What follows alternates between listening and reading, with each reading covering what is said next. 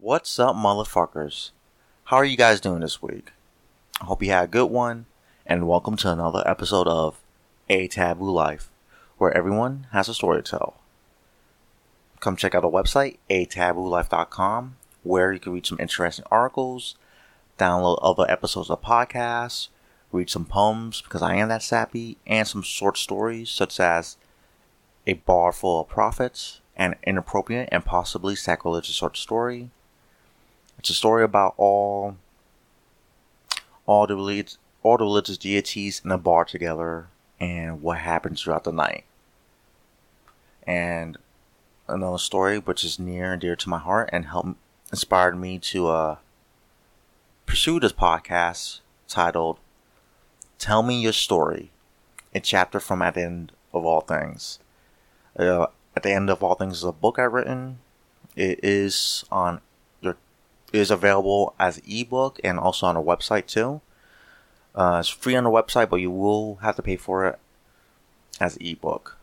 But check out the website, ataboolife.com. Today's guest is Mr. Andrew or Drew. He is a friend of mine. We were he's still a police officer, but we were police officers together. We he is currently a patrol officer, a bomb technician. Um, he's still the military right now, but if I remember this correctly, he is leaving uh, sometime this month. Great guy. He has a lot to say. We talk about um, the stresses of working as a po- police officer, being in a tribe, thinking for yourself, and and some hunting too. We talk about a little about hunting, but this is a great episode if you want to get into the mind of cops and active duty cops. If you are um, cop hater, please listen to this episode because I'm pretty sure this will change your mind. Andrew is a great guy to talk to, very uh, very personal, very wise. I thought he was older than me, and out I was older than him. But I was really grateful for him too because I went to do the episode at his home in Georgia, and he gave me some uh, some deer meat, and I ate some of it today, some back straps, and was absolutely delicious. But no more talking. Here's the episode, and I hope you guys enjoy it.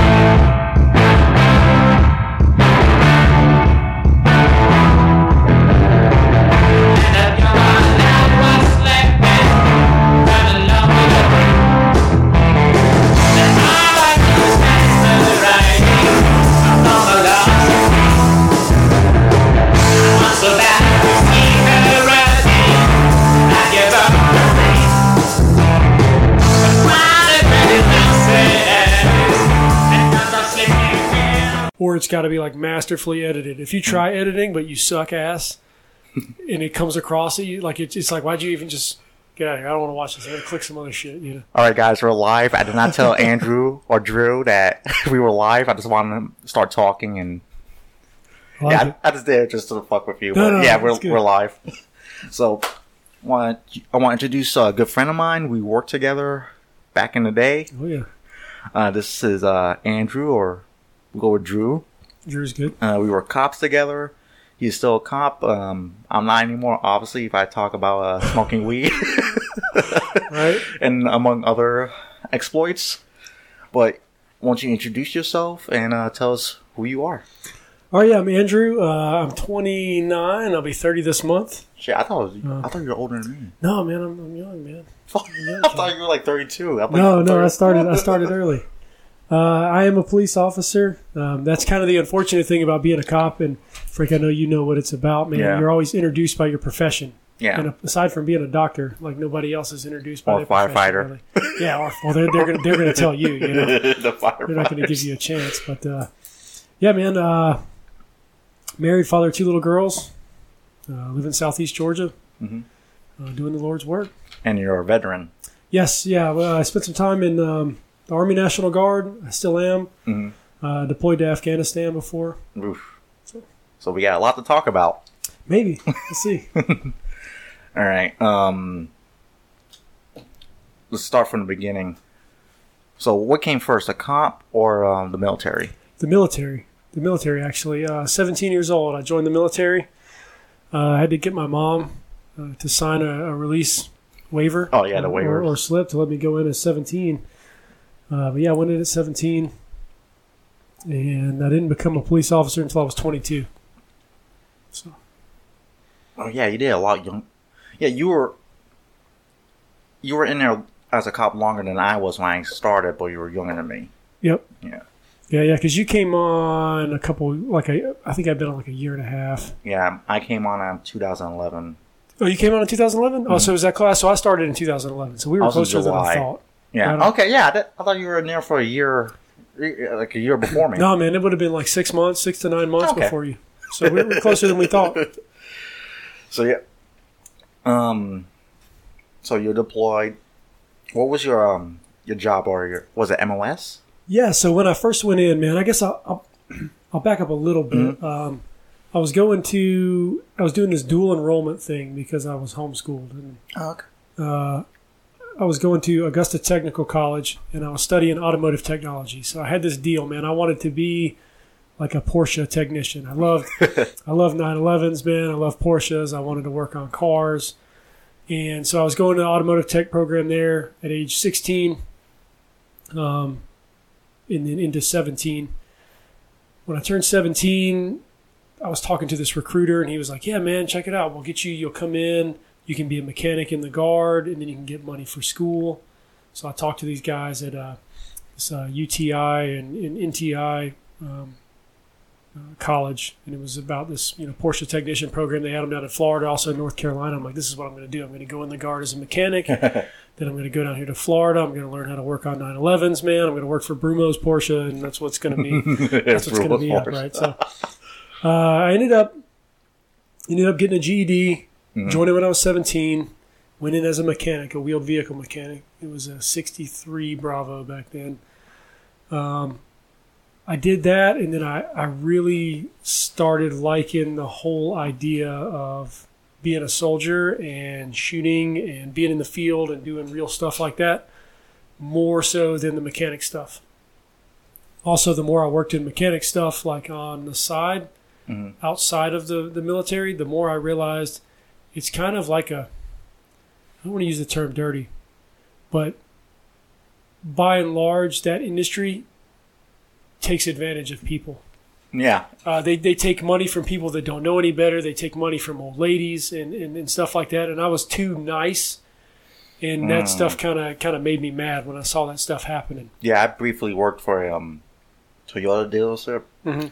and I'm just glad I got better job out of that. But a month in there, I saw how shady it was. It's shady, and, man. and snakes and Oh yeah, it's like a, really just a disgusting environment in general. yeah, it's bad, dude. So I didn't, I didn't really like that. So I started leaning more towards the other side. I looked at uh, some police stuff. Fuck, that's good. It's good. You like it? It's not bad. Um, I looked at uh, I looked at some police stuff then early on because I had some family that was in the police um, in the police force or sheriff's departments, different areas. So I was tempted. Um, I actually ended up applying with a, I guess to, to do pre-service is what it was called, and so that was like paying your own way through the police academy, and then getting picked, and then trying to go as a certified guy yeah. to go get hired somewhere. So I was looking into that. I applied to this police academy in Augusta. Uh, went up there, got accept- accepted. Me and a guy played uh, high school baseball, homeschool high school baseball with. Mhm. Uh, actually took the test the same day, got accepted. But then I was still trying to go to the infantry um, in the National Guard. Well, my uh, battalion commander would not allow me to switch brigades. So I was under the uh, under troop command in Georgia, hmm um, doing the mechanic stuff, and then all the infantry uh, units are in the 48th Brigade. So they wouldn't let me switch, but they said, "Hey, 810th is deploying. Um, they're a sapper unit." I was like, "What's that?" They're like combat engineers. They blow shit up. And I was like, "That's cool." That's cool. and I was like, uh, I was like, well, let me let me get some of that. You know, they're, they're like, yeah, man, they're not going to Iraq, but they're going to Afghanistan. So I was like, cool, let me go down there. So came in as a mechanic, what year was switched this? to a combat engineer. So I came in in 06 Okay. the, into the military. Uh, I actually signed paperwork at MEPS June 6, 2006. Oh, wow. So six six six. I was Six, signing. six, six. I was signing paperwork away for six years in the in the in the Georgia Army National Guard. Uh, that would have been that would have been mid 2008 is when I was transitioning from then Mhm. from there back to uh, to the 18th to go become a combat engineer because I, I remember that I wasn't old enough to be a full fledged police officer then because I was 20 or I was 19 at the time. And a lot of agencies were like, nah, man, you're not old enough. Go do this pre service thing. Or they offered to hire me into the jail uh, as a Ooh. jail or corrections officer. And I knew then I did not want to do Yeah, that's a rough job. I did not want to do that job. That's a really bad job. to this day, Mm-hmm. I do not want to do that job. No. It's terrible. So after that, um, when did you go to Afghanistan? So I ended up going to Afghanistan. We left in, I think it was October. It was late October 2009 uh, because I turned 21 on the plane Holy uh, from. Yeah, we, we, Oh land, we landed in. Uh, we didn't land in Shannon, Ireland. We landed in I think like Hahn, Germany, or something, and they wouldn't even let us. They wouldn't even let us out of like the the terminal. Man, we were on lockdown. So we landed there, got on another plane, and then flew to Manas Mhm. in Kyrgyzstan, Manas Air Force Base, and we would then go from there to Afghanistan. But I turned uh, 21 on the way, and I've got a picture. One of the pilots was walking through the aisles, like thanking people for their service, and my buddy Steven's like, "Yo, it's his birthday or whatever. He just turned 21." And they were like, "Well, we can't give you any alcohol, man, but here you go." And they gave me some wings, you know, like they give kids. And I, the Jews. well, I, I got a picture on my Facebook, man. I'm, I'm wearing uniform, military uniform, 21 years old, young, dumb, and you know, full of stuff. Uh, going to Afghanistan to do to do the Lord's full work. cum. Yeah, with, yeah, with some with some wings pinned on my chest, man. Yeah, good times. Yeah, we were talking um before we started doing the episode about the book um Tribe or Tribal. I, I keep forgetting the name of the title, but by Sebastian Junger, and we're talking about um this misconception with why people want to go back. Certain part of the population wants to go back to war, like with the military, and um it says not because they enjoy killing people. It's the actual un- the family unit that forms with the military. Hell and you said you, you want to elaborate on that. Yeah, certainly, man. That shit's real. So it was weird for me because you know I'm so young. I'm still impressionable at that point. I guess uh, I come back from Afghanistan, or I go to Afghanistan, lose my innocence. You know, uh, I come back from Afghanistan, dude. I was back. Um, I got back in fall 2000, like late September, early October, 2010, Mhm. and I was trying to figure out what I wanted to do, and I had opportunity to extend and transition to active duty and do some other stuff, and that was really appealing to me Yeah. spoke about it with my wife. She was like, um, she was like, no, no, no, no, no. You know, you, you talked about being the police. Why don't you give that a shot? If you don't like it, then go active duty. I was like, all right, cool, we'll do that. So I came back, man. I was back like two months. I was putting in applications, and I already within two months, month and a half, I started the application process with the department that I work for now, and got on right into that. Well, that eased some of my transition, but it also kind of helped hurt me, I guess, a little bit with with some uh, some PTSD kind of issues Really? and some yeah some different stresses and stuff. See, because like when I work with you, I you were always level headed. Like Well, I, I, never was yeah, at work because work. because of that because of that tribe thing, man. So it was not the same as the military. Mhm. Um, it was not the same as being deployed, but I still, when I would come to work, um, I'd have all my people there. You know, we're out there all have kind of a common mindset because we're all doing a dangerous job and Yeah. everything, and we just got to kind of come together and be kind of a kind of a unit, kind of a team. Not the same, not as strong, but kind of a team. You know, and team atmosphere and go out there and put in work. But then when I would come home, that's when stuff would kind of fall apart on me. So, but the being at being at work in the police department was was close, and I actually ended up getting out of the guard. I ETS in 2012. Oh, good. was mad at some stuff. Went four years, and I got back in in 2016. So August 2016, I re-enlisted in the guard because I missed that part of my life, that that, that kind of tribalism, that unit kind of feeling, man, and uh, it brought it back to me. Um, it, I re-enlisted with the idea of deploying, to Afghanistan coming up here soon in January. My brigade is deploying. And uh, I was supposed to go, man. I've been training for the past two years to go, and then I found out a couple of weeks ago that I'm actually not going uh, because of some circumstances. So Oh shit. yeah, my, my reenlistment falls in the in the middle of the deployment, Okay. and I've elected not to reenlist because some people in my unit kind of burned a uh, EOD explosive ordnance disposal hmm job I was trying to transition to, and it made me pretty mad. So my my immediate goal is to transition to the Air Force National Guard, pursue some stuff in that. Why not the Navy? Navy Um, has a good um EOD squad. Well, so the Navy, the Navy's lit, man. Uh, Navy EOD, and, and I may be speaking out of pocket, but Yeah. my understanding is they are they fall under SOCOM, so they're part of the Special Operations Command. Yeah. They are the Special elite. Operations EOD contingent, and I think Mm-hmm. the Army has a, a Special Operations or Special Operations capable unit or units within EOD, Mm-hmm. and there's some EOD guys that are attached to some JSOC units and stuff like that. But by and large, Navy EOD is is no joke. Those guys are those guys are serious. But no, I'm looking at doing it on the side, man, just to scratch that itch, give me a little bit of something to do. There's other reasons too, but I miss that. I miss that kind of tribalism, you know, kind of kind of being being together, being in the field, mutually going through like really shitty situations or being cold or hot or miserable with other dudes, man. That just for some reason that's cool. Because you're going you're going through that together. right.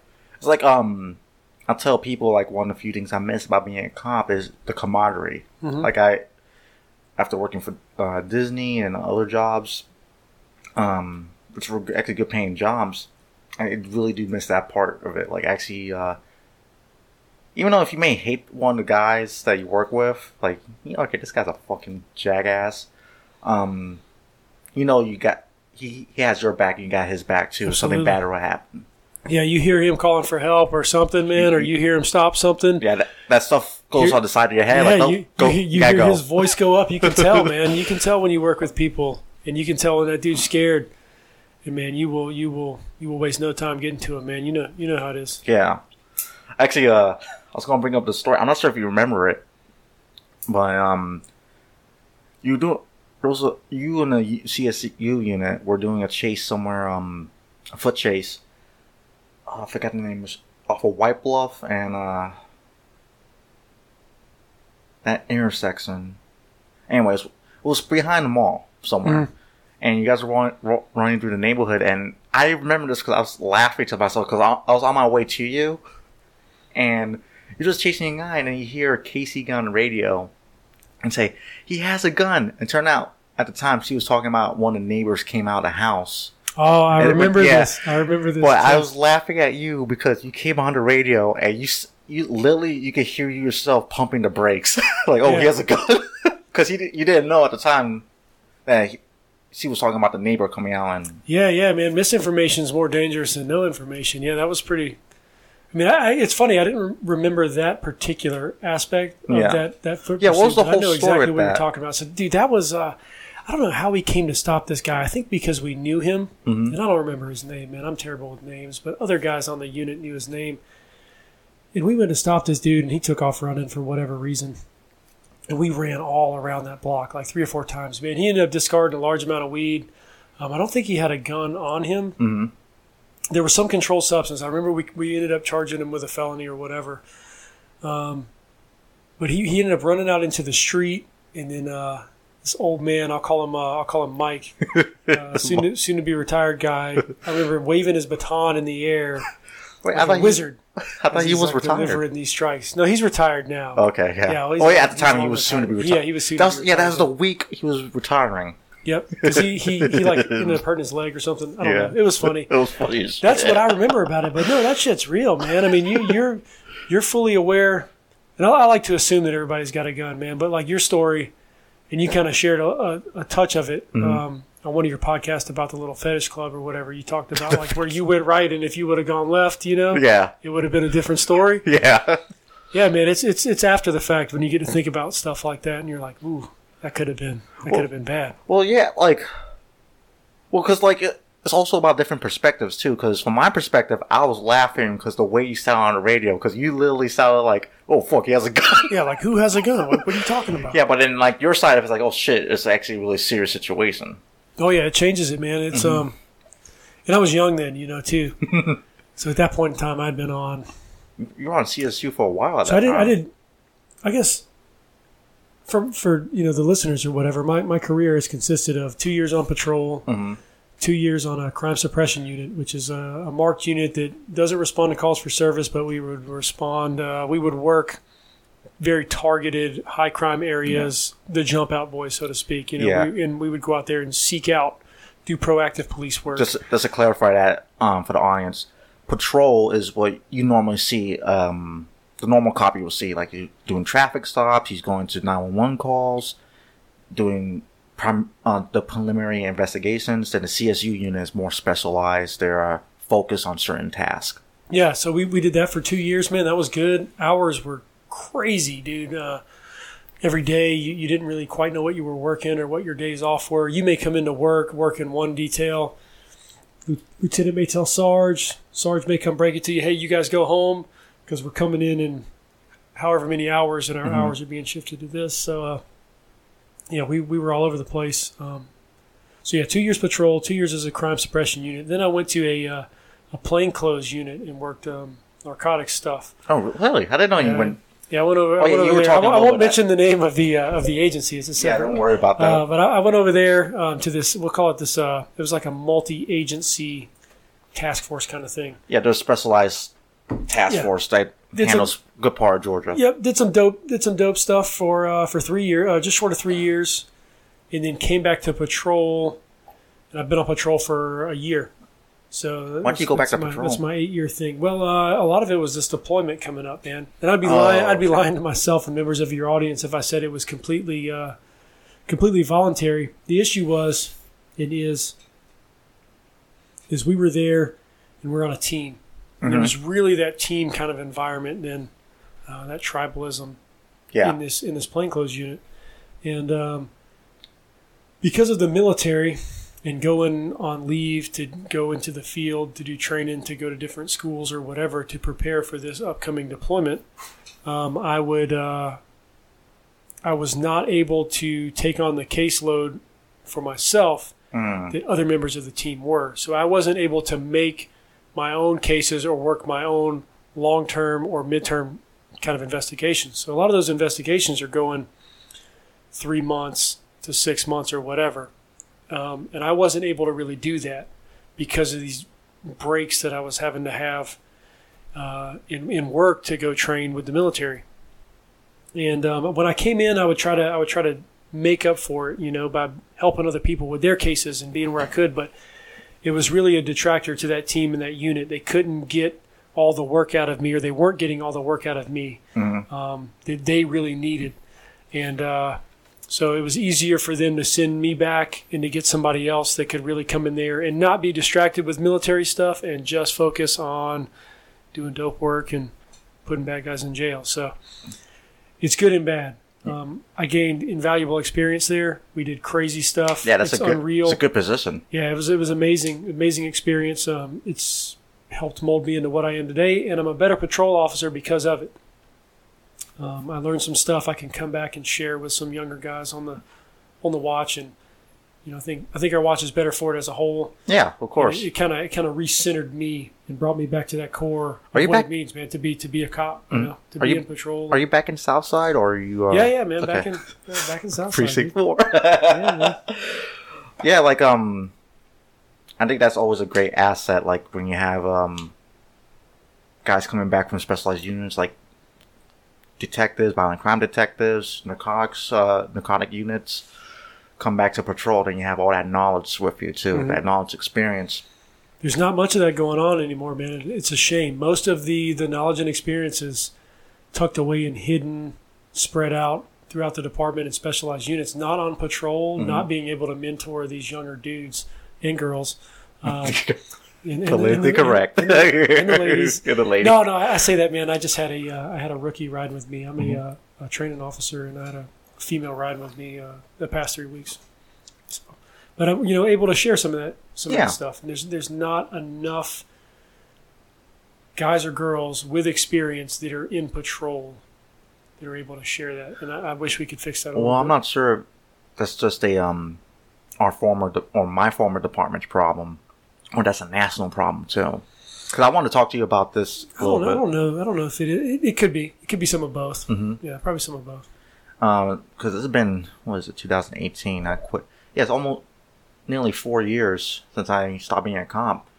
Um has things got more challenging to be a police officer afterwards? Like not only with what was going on with our department with the corruption and stuff but the whole national like the whole national debate about police about the black lives matter that kind of shit. Maybe, uh, maybe. I don't sensationalize that quite as much as Mhm. other people.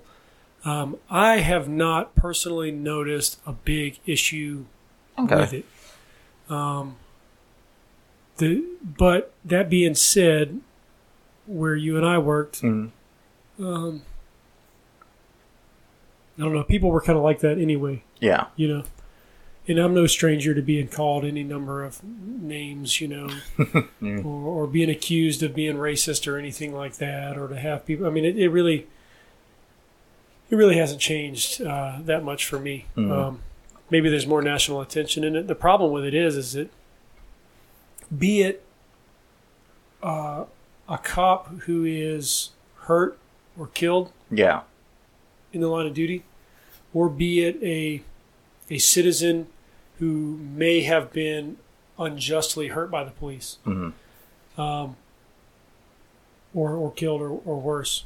Uh, both sides of that story are being kind of leveraged by different. I don't know if it's political agendas or what, but it's it's it's like there's this black and white divide. There's like two sides to it. hmm Um, and I don't, I don't know why that needs. I don't know why that needs to happen. I, it's, it's crazy, man. It's like people are. It's like you're either always going to side with the police, or you're always going to side with, uh, you know, the, I guess the citizen or the suspect or whatever, and then say like, oh, the police are bad. I don't know why people can't take kind of more of an objective stance, yeah of course you know. And then us as officers, we have to deal in objective. We have, we have to be as objective as we can, you know, kind of fact takers and like let's wait and see what happens Mhm. because you know you and I know there's three sides to every story. You know, there's there's what one person says, there's what the other person says, and then There's there's the what actually happened.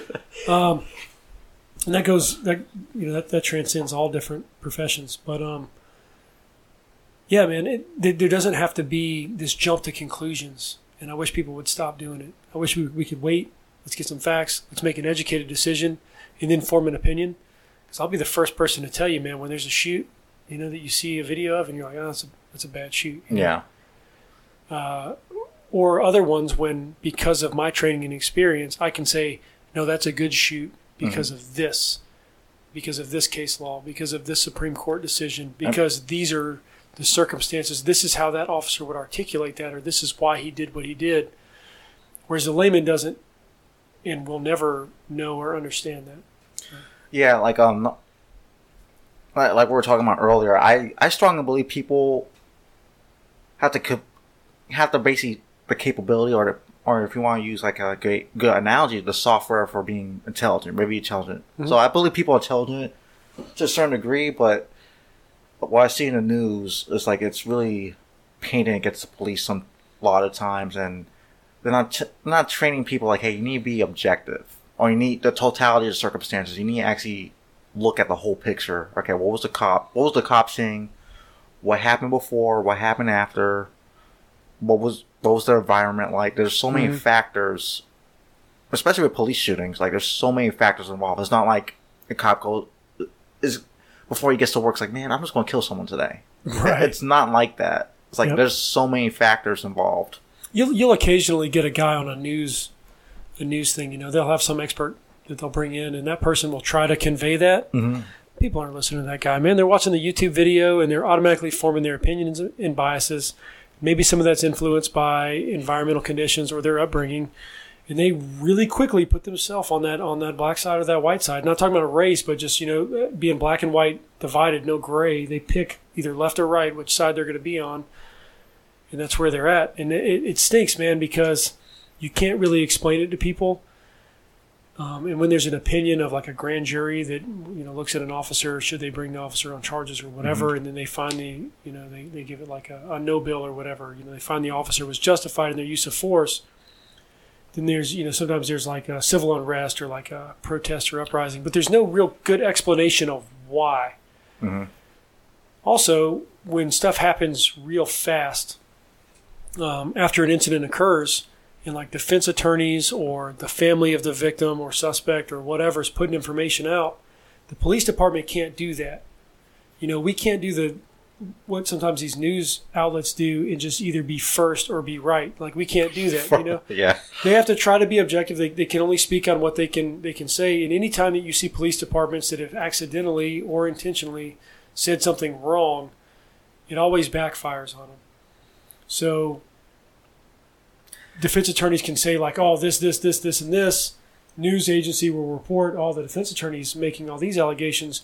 We called the police department and The pre- they, they didn't have any answer for us at this time. yeah, the press officer didn't like- have an answer. It's like, well, what does that imply? You know, they're implying that oh, the police are trying to hide something, or they're, they're No, a like, lot of scared. It's like, no, man, we, we just got to gather the facts, man. Yeah, a lot, a lot of times people forget too that this is not like Law and Order where you're going to have a uh, the evidence and the facts within an hour. Like Yeah. the, it's it takes maybe weeks, maybe months, or even years to actually get the proper facts. That's forensics, that is eyewitnesses, um, It's other crazy. factors. Yeah, there's so many factors, and Look, look at look at uh, I'll use this. Um, in the Michael Brown shooting which one was is kind of convoluted. That was the Ferguson. It was the Ferguson incident. Um, that one, that one's kind of deep, and I, won't- I won't dig into it too much. I Mm-hmm. will just say that, like, hands up, don't shoot. Right, hands up, don't shoot was born out of that thing. yeah. Um, Michael Brown didn't have his hands up. You know what I mean? Like he, he, he never had the he, he never had his hands up, and Well- they, they proved that forensically. They showed that you know how he was shot and where he was shot. Like his hands could physically not have been up when he was shot, and what he was doing when he was. I'm not going to say that he should or should not have been shot. I wasn't there. Um, I think that uh, some stuff could have been different. hmm Some stuff should have been different. There was um, some stuff that maybe that officer did uh, that put himself in a position to where he felt at that time he needed to shoot that guy to protect himself. Um, Well, also came out as a robbery too. it came out of some different stuff. On the flip side, I'm not going to say that you're automatically wrong for shooting somebody that's unarmed. Mhm. Uh, lots of police officers are killed by unarmed people. That's true. Um, lots of armed people are killed by unarmed people. It's it's it's it's too great, man. This this this job is too convoluted to to you know yeah, my roo- my roommate at the time. quarterback everything. Yeah, my roommate at the time, she uh, she asked the question, "How come um, the officer couldn't shoot him in the arm and leg?" I had to explain to her like, it's not like it really is not like the movies or TV shows. You could still kill a person by shooting them in the leg. You could hit the artery, or same Mhm. with arm. You could still kill him by shooting him in the arm. And also, too, guns are meant to kill. They're not. And also, with saying that, the officer has to worry about where the bullet's going. Oh, so if you if you aim for the arm or the leg, that's a smaller target. tiny target. It's a tiny target, and you might you might hurt or kill someone behind them. That Yeah, and then you're under stress. You, you're talking about shooting at moving targets, man, and you get somebody out oh there yeah, on the range. too. Stress shooting. And then can you imagine like the stress that an officer would be in at that point in time to where he thinks that his life is in jeopardy or her life is in jeopardy and they have to pull out their gun and they have to use this deadly weapon Mhm. to prevent this act from happening how much more stress they're going to be in you know uh, and then you're talking about trying to shoot a small target that, that's moving and flailing around arms or legs or whatever yeah it's, it's unrealistic man It's- that's, that's a ridiculous proposition yeah. um, well, she didn't. Well, the thing is, she didn't know any better. well, most people don't. Yeah. Yeah. Most people, it's honest. A lot of times you can have good conversations with people. Um, and without picking a side, you can just, I wouldn't say that, I don't want to use the word educate because that sounds kind of condescending, but you could, you could share knowledge with them and then maybe they could come to have a better understanding of Yeah, you have some someone who's in the, the field, situation. like someone who has experience in the field of it. It's like this is why this doesn't happen, or this is why it does happen, Mhm. and you could explain it like, okay, this is the laws, this is the policy, this is the procedure, this is the training. And, Certainly, um, man. I know plenty of plenty of cops that were divided on uh, that shooting and, and some others. You know, Mm. um, the thing that's crazy is there's no national database. There's no FBI uniform crime reporting statistics for the number of people that could have justifiably been shot by police that weren't. There's no way to I- track that. How, I mean, that can be easily tracked if you use um, an actual prosecution or the actual grand jury or, or what what happened with the jury. Maybe, but like there's there's untold numbers of people that I could have justifiably used lethal force on hmm in my relatively short career that I didn't.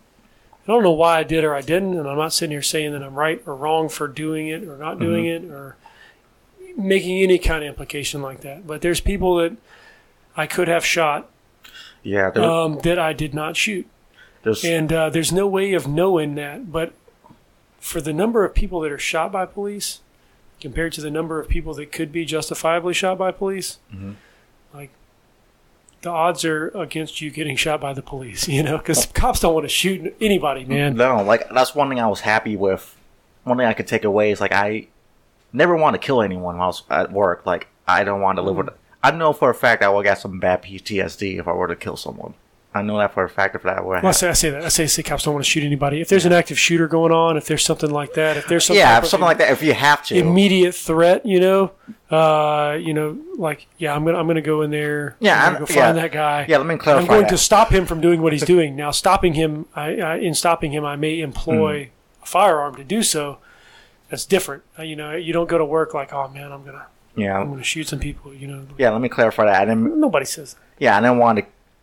No, I don't want to take joy at killing. But if something were to happen, if I had to take a life, then like, okay, I fucking have to do it, and I have to live for that. But it was out of duty. Like, okay, Mhm. this guy about to kill his wife with a knife. I shot him. This is just an example or hypothetical. I have to do it because I have to protect her life. Mhm. Her life is more valuable at that point because he's trying to take her life. So that's something. I, if that were to happen, I would have to live with it. But it's not something where every day it's like, oh my, oh boy, I might shoot someone today. So Yeah. what? It's not like that. Yeah, nobody. I, well, I say nobody. Um, I have not encountered that. There was one guy in my training class I did. He did say out loud that he wanted to kill someone. And I was like, ooh. Hmm. I'm not sure if he's still working with the department. I think he quit a year into it, but uh, yeah, Yeah, he- and, and usually those dudes, man, uh, in the military anyway, I've had experience with some of those guys. Usually those guys are trying to posture up a little bit, you know? Mm, They're trying to, sometimes they're scared or they're intimidated by the job or the situation, and they're trying to compensate for that by trying to act all hard and gung ho, you know? Because there, there's no, there's no place for that on the street, man. Like, you can't go out there trying to be, trying to be hard. You're gonna get yourself in trouble, yeah, but and you'll be found out real quick. You know that you're soft. what? Some of- one thing I will admit, I'm not sure if you committed, but one thing I will admit, I do miss the foot chases. Oh, the foot chases are fun, man. I mean, like it, it, it is fun. Dude, I got, a, I got, I got in a foot. It's funny you mentioned this, man. I, I got, I got in a foot chase two days ago. Yeah. Oh man, it was, it was great. Uh, it was a good, it was a good chase, man. Because the uh, the bad guy went to jail. Mhm. Um, no officers were hurt. Um, he had, he had committed a crime against another person. Yeah, Was it violent or? Yeah. Well, to where Okay, to where to where she was she was uh, she was injured. You know, without without talking about too much Okay. All about it. right, but, that's um, it. Yeah, a bad bad guy uh, did something to a female. She got hurt, and then he then he wanted to run away on foot. You know, and uh, good response by all officers involved. I ended up catching the guy, and he went to jail. So I mean, it was good. It was fun. And then later you get to think about like, man, that Altima almost almost took us both out. You know, or yeah, I and then there's the incident of like when you when you when, when you catch the guy, you know, what are you going to do with him then? You know, like does he have weapons or whatever? You know, yeah. I've I've uh, chased plenty of guys that have decided to, to throw guns instead of try to Yeah. employ them against me. You know, I don't I don't know Uh, That's what they'd be how often that for. happened with you. You know, but more people, luckily, knock on wood, throw try to throw try to get rid of guns when they're running than than if or have tried to get rid of guns when they're running than have tried to use them on me. So that's uh that's a relief, or that's been a relief. But that's always one of those things you think about when you're going to sleep that night like, what if? right there when it happens, you're all high. You know what I mean? You're like, oh man, that's great. You know, adrenaline's pumping or whatever. You caught the bad guy. Yay! Your buddies are giving you high fives. You know, and then uh, then later that night, you're like, man, that dude had a gun. Like, what if he would have wheeled around? You know, and uh, taking a blind shot. Maybe he got maybe he gets lucky. You know, he's only got to be right once. Yep. I got to be right all the time. All the time. So Yeah, the, um actually there was one time besides that time that you mentioned in that episode, there was a time where I nearly saw a guy in the head. I'm glad it didn't happen. Um I'm not gonna say his name on air. Me and him were clo- it was close to uh um the end of the shift and we got a call first it came out as an unknown call. Dispatch the got a 911 call. She said something she she needs help, but she didn't give her address. and She hung up. So we went to the area, and she came. It came in as a domestic, and this time we had a, a apartment address. So me and uh, this other officer went to the went to the um the apartment, and you know the whole policy: two officers for domestic. You know, domestics are a really dangerous uh, call because the Oh, yeah. the wife or whoever called 911 could easily turn on the police and try to kill them. This, it's been documented that police do get killed during domestic disputes. Mhm. So we get there, and we're at the time we are just taking it normal, knocking it. I knocked on the door, and was about to. I'm just waiting for him to open the door, and then the, that's when the um, the chime came in. Um, what do you call? it? the tones. Yeah, the tones. Um, and for the people who don't know what tone is, the tone is a uh, signals a violent or a um, highly aggressive crime, Yeah, yeah, it'd be a, you know a robbery or a shooting, shooting, or a homicide. something like that. Yeah, Yeah. You, you get those you know your radios like beep beep beep beep, and that's to let officers know like, Yeah. hey, some real shit's coming on the radio. Shut up for a second. And you may, you may need backup. Be, be ready to get in your car and and, and make haste. Yeah, so like uh when I knocked on the door, that's when the beeps came out. And I thought something was happening in precinct five or precinct three. And that's when they said the address I was at, an apartment, and it's like a a stabbing or something. Oh, So I was about me and uh the officer pulled out our guns. I was about to kick down the door, and the door swung open, and the guy came out with a knife, and I had my. For some reason, I was t- he was crouched for some reason, so I had. I was I was higher than him because I was standing straight up, and I just pointed my gun straight to his head. I'm like, dude, drop the fucking knife. And I thought, man, I, I, please don't let this happen. Please don't let this happen. And he dropped the knife. Turn out, it was a domestic, simple battery at best. We at least at best it was a simple battery. Um, the guy just took the knife away from the girlfriend, and he came to the door when I knocked on the door, and she called when he took the knife away from her, saying like, "Yeah, he has a knife." So stuff to get misconstrued like that, man. And uh, and luckily that guy made that decision. You yeah, know, it's like it could have been, it could have easily gone the other way, and I'm glad of, I'm totally glad it didn't happen. Yep. Yeah, stuff's crazy, man. You know, you never know. Yeah. You never know what's going to happen. That's the coolest thing about this job. You go to work, you make as much of a ritual out of everything as you can. You know what I mean? Like when I'm getting ready for work, when I'm putting my uniform on, when I put my vest on, when I'm strapping my gun belt on, doing press checks, making sure my gun's loaded, whatever. I'll do some draws out of the holster just so that muscle Draw memory is some there. memory. Um, I hate that. I hate that term, muscle memory. Muscles don't have memory, but just to make sure that that, that subconscious, The or habit. that drawing that gun is in my subconscious. Because when I need it, I don't, I don't have time to think. Yeah, when I'm when I'm prepping, man, when I'm getting ready, um, all that stuff's ritual. When I drive to work, when I'm putting my my mind, you know, where I'm at in my head. Because when I hit in service and on that MDT and drive out there, who knows what the hell's going to happen? You know, it's crazy, man. Every day's different. Did you ever carry a backup gun? Yeah, I carried um I had a couple different guns I'd carry. I'd carry either a 38 revolver or a, Oh, little, yeah. a little 380, uh, little 380 LCP, either um, on an ankle or sometimes in the pocket on my, uh, my weak side or support side, front pocket. When I was working CSU, we had the you know cargo pants. It was easier to get your hand yeah, out of your lot more pocket. comfortable. Yeah, so you could uh, could reach in there and get that thing. But um, luckily, never had to use any any of my firearms at work. Yeah, I carried uh, apart from shooting deer. I've had to dispatch a few deer that were that were hit by cars. So I'm good with that, man. I shoot deer. I shoot deer anyway. Oh yeah, like I got my got my hunting license for Florida, not the hunt, a hunting permit for Florida. Yeah. I really want to go on hunt. I got myself a uh, Actually, I traded in my um backup gun. I had a Glock 30. I Nice kept gun. it. Yeah, I kept it underneath. Uh, I kept it in my uh, vest, my bullet bullet resistant vest, underneath my armpit. So it was kind of like a cross draw shoulder Mm-hmm. holster in a way. Well, I traded in for a Marlin uh, 30 30. Oh, nice, dude. Thirty thirty will put a put a whitetail down pretty good, man. Yeah, I wanted I wanted a, a rifle that was like all around. Like okay, because I, haven't gone hunting yet. I'm still looking for someone to take me because I want to go someone that's experienced. Mhm. But I thought like either deer first or boar because I tried wild boar before. I'm like, man, that's actually pretty good meat. Yeah, so I don't. I'm not. I'm not versed in the the, the pig hunting Oh. and uh, and how to prep that and, and cook it or whatever. Mhm. Deer, on the other hand, I am, and it's good, man. There's something. There's something primal about it. People will be uh, judgmental, I guess. You know, and they're like, "How do you? How can you shoot Bambi? Or how can you do this or whatever? You know?" And, and there's more power in you. A cousin once told me, she's like, "There's." On, via Facebook, she says, uh, Fire. she says, she says there's more power in you. Uh, there's more strength in you than a high powered rifle or something like that.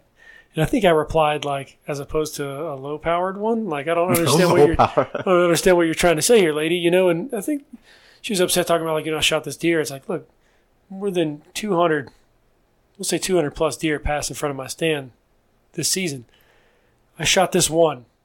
You know, I picked Mhm. this one. It's like I know more about, and I spend more time watching and observing That this for animal Mhm. than that person ever will, that critic of mine ever will. And I appreciate this animal more. That's not even taking into account the fact that deer are a prey species. Mhm. Man has come in great numbers, humans, to North America, to this continent, and have removed natural predators of deer, and deer have thrived in suburban areas. There's more deer now uh, in North America than there were when Christopher Columbus landed on this motherfucker. You know what I mean? Like, there's, there, and they're the number one cause of property damage in the United States. Yeah, especially I think pigs vehicle. are number two. Yeah, it's outrageous, man. And so you you can you can take the you can do like uh, we have out here on you know some of these islands where there's no hunting, but there's so many deer and they're they're just taken over.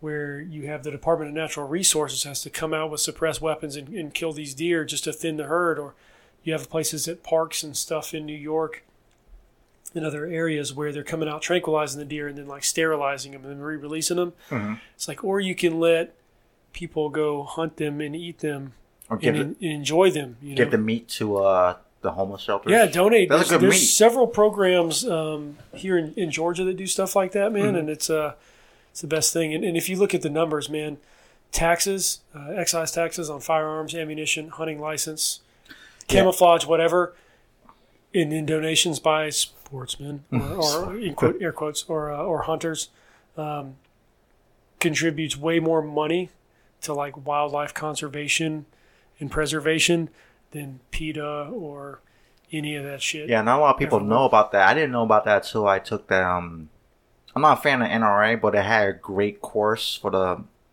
It was a free course at Florida. For Florida, you could do it for free for the NRA. But it's like an online course that teaches you like a hunting, um, like a hunter safety. yeah, hunter safety stuff, the laws and stuff. It was actually a really great course, and um, I forgot the name of the law. It was passed by Congress, but basically, there's a tax on anything that you bought for hunting, Mhm. and that goes back to the wildlife for America. So Yep. a lot of the preservation you see on for wildlife across the United States not not coming from the Parks Department. It's coming from the taxes that's collected from the hunters. Some of these states, man, like if you look at like Montana or whatever, where they have different big game hunts, and you have a lot of people that are coming from out of state, you know, and they're selling tags for these animals for out of state. And they, in the, these states, dude, they, they pretty they pretty heavily track the population of the animals that are in their state.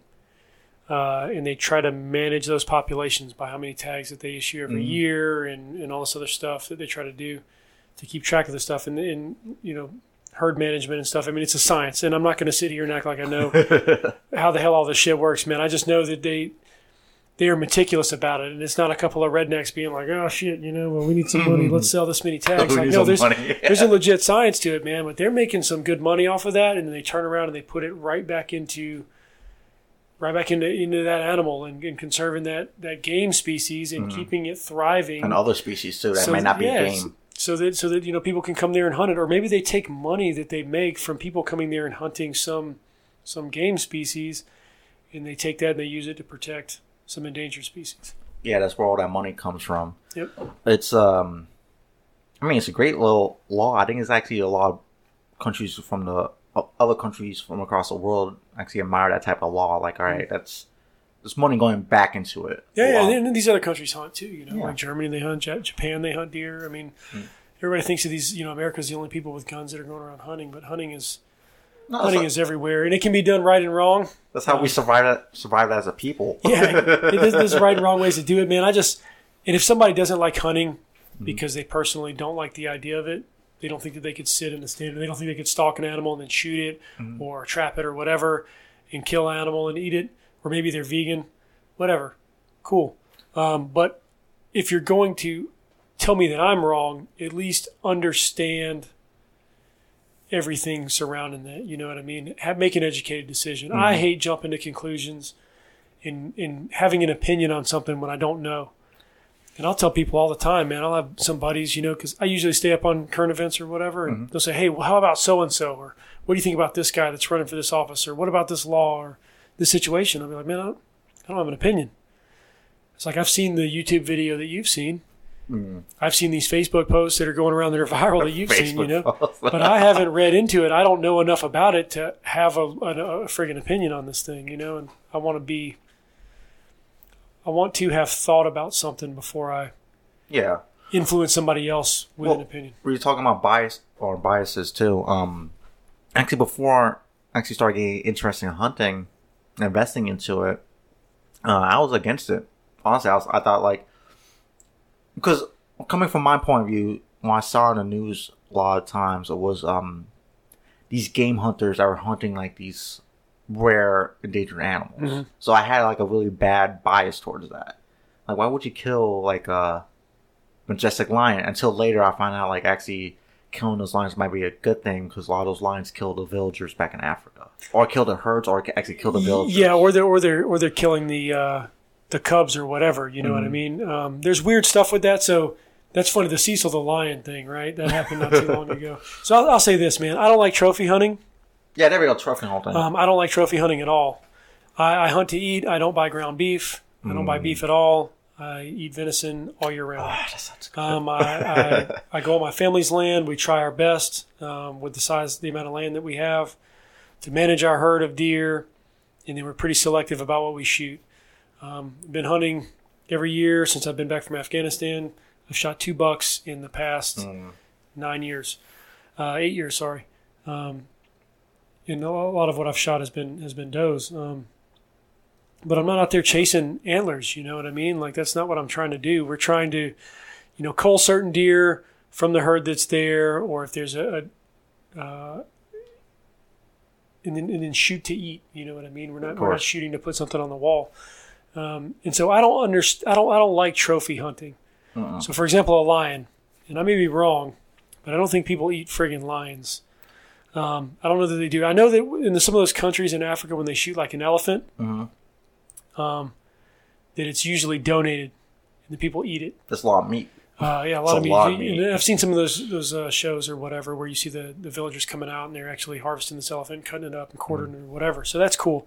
I get that, and I know that they have to do herd management there too, um, because they're trying to create these these these areas where these animals can thrive.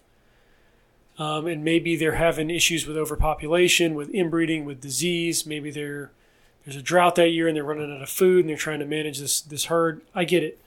Uh, and if that place in that third world country that has been oppressed for other reasons can make money off of some rich white guy that wants to fly to Africa to shoot this friggin' elephant, and they can take that money and then turn, pour it back into the conservation of this species long term, I'm, I'm, I'm okay with that. What I don't understand is that rich white guy who wants to spend all this money to fly to Africa to shoot an elephant that he's mm. not going to eat. Yeah. I don't I don't get that. I don't understand that. So I'm I'm, I'm mixed. I have mixed opinion. Have mixed opinion on that kind of that kind of stuff. I do understand why some lions or some elephants or some whatever in these herds, these managed population of animals have to be or need to be called out. They need to be killed. They need to be removed. Um, but on the same token, I I don't I can't align myself with or understand the mindset of that dude that's going over there to shoot this thing. Yeah, it's To- like like I don't get gratification out of shooting it. It's not. If you got the money, just go buy yourself a Ferrari or a Tesla or something. Yeah, Let's like, go buy. like- they'll, they'll fucking use like it. shooting, shooting, shooting, shooting the animal does nothing for me. Mhm. Um, eating the animal does. Yeah, and like If that dude's not f- freezing this friggin' elephant, and I, you know, cool on him for donating them, right? Mhm. We'll stick with lions. We'll stick with lions because it makes the it makes the discussion simpler. Like I don't think anybody's eating this lion, and it, it wouldn't make my dick any bigger to have a fucking stuffed lion in my living room. You know what I mean? In fact, I would feel I would feel bad, dude. We were at the zoo. We were at the zoo last weekend. We went to the zoo in Columbia with my kids, and we're mm-hmm. looking at this friggin' tiger, man. I think this tiger there. And this thing is like lethargic, and it's like really skinny, and it just it actually hurt my feelings, man. It made me want to leave the friggin' zoo, and I, I fucking hate zoos because you see it in cats. You see it in cats a lot, man, where they got this this little track they walk around the fence, you know, and their mind starts going away. Um, and, and it always seems more prominent in, in big cats. And uh, I hate seeing it, dude. I saw this. I saw this tiger, and I was like, man, somebody needs to put this thing out of its misery. Like this is horrible. Like cool for seeing a tiger and being able to point to my two year old little girl, like, hey, that's a tiger, you know, like that's cool. But then I'm seeing it in the physical state that it's in, and it it made me feel terrible. Yeah, it's like a one thing I I I say to people like I would never own a pet bird because I feel like it's a sin. Because birds got a great freaking ability to fly. That's a ability that man has tried for hundreds of years to, to attain. They have it naturally. I think it's a sin to put them in a cage. Yeah, or clip their wings or whatever. Or, or if you look at these damn, uh, you ever watching these bird rescue shows where they where they got No. like they got like pet, pet like friggin', uh, I wouldn't say toucans. It's, it's usually parrots and shit like that. Like maybe they got like an African gray or whatever. Yeah. You know, these really really smart, these incredibly intelligent animals. But those animals like they like imprint or whatever on a human, and so their owner that's like their that's like their their shit. yeah. And then if, if the owner has to sell the bird for whatever reason, or if the owner dies and the bird is then handed down to another family member that doesn't like the bird or maybe can't take care of it. Mm. But the birds like turn to like self mutilation and all kind of stuff, man. What? Yeah, they become super depressed. They start Oh, picking their man, feathers out and all kind of stuff. They're super susceptible. They're super smart, but they're super susceptible to like all these issues that humans have. You know what I mean? To like depression and stuff like that. It's and it's it's weird seeing it in, in an animal. So yeah, I can I can I can uh, I can relate to that. Yeah, like um, there's a lot of animals that have the same mental issues, same emotions as humans. Well, well, most common ones is dogs. Like dogs do go through depression, they get anxiety, they get.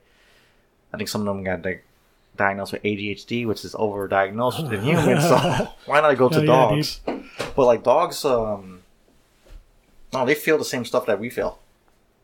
Yeah, man. Anybody says that animals don't feel shit, like, no, they're they're, they're dumb, man. Like I read a uh, a cool article because I I'm starting to get into more like reading more about octopuses lately or cephalopods. Those a- those animals are freaking smart, and they actually. I read somewhere that scientists like this is like legit scientists, not like these weird, no one's ever heard of scientists, like the crazy scientists. Like legit scientists are starting to believe like they might actually be, they actually might have been aliens, like or Oh, they might have they might have come from a different planet and came came to Earth because something with the RNA that they could actually control their there's DNA and RNA. And I forgot the difference, but the RNA they could actually control, and a lot of a lot of the abilities of a octopus or a cephalopod, they're close to humans when it comes to problem solving. They're extremely intelligent. They're the way they camouflage. They not only they could change their color to the environment, but the texture too of their skin. Like they're amazing animals. We actually started looking into them.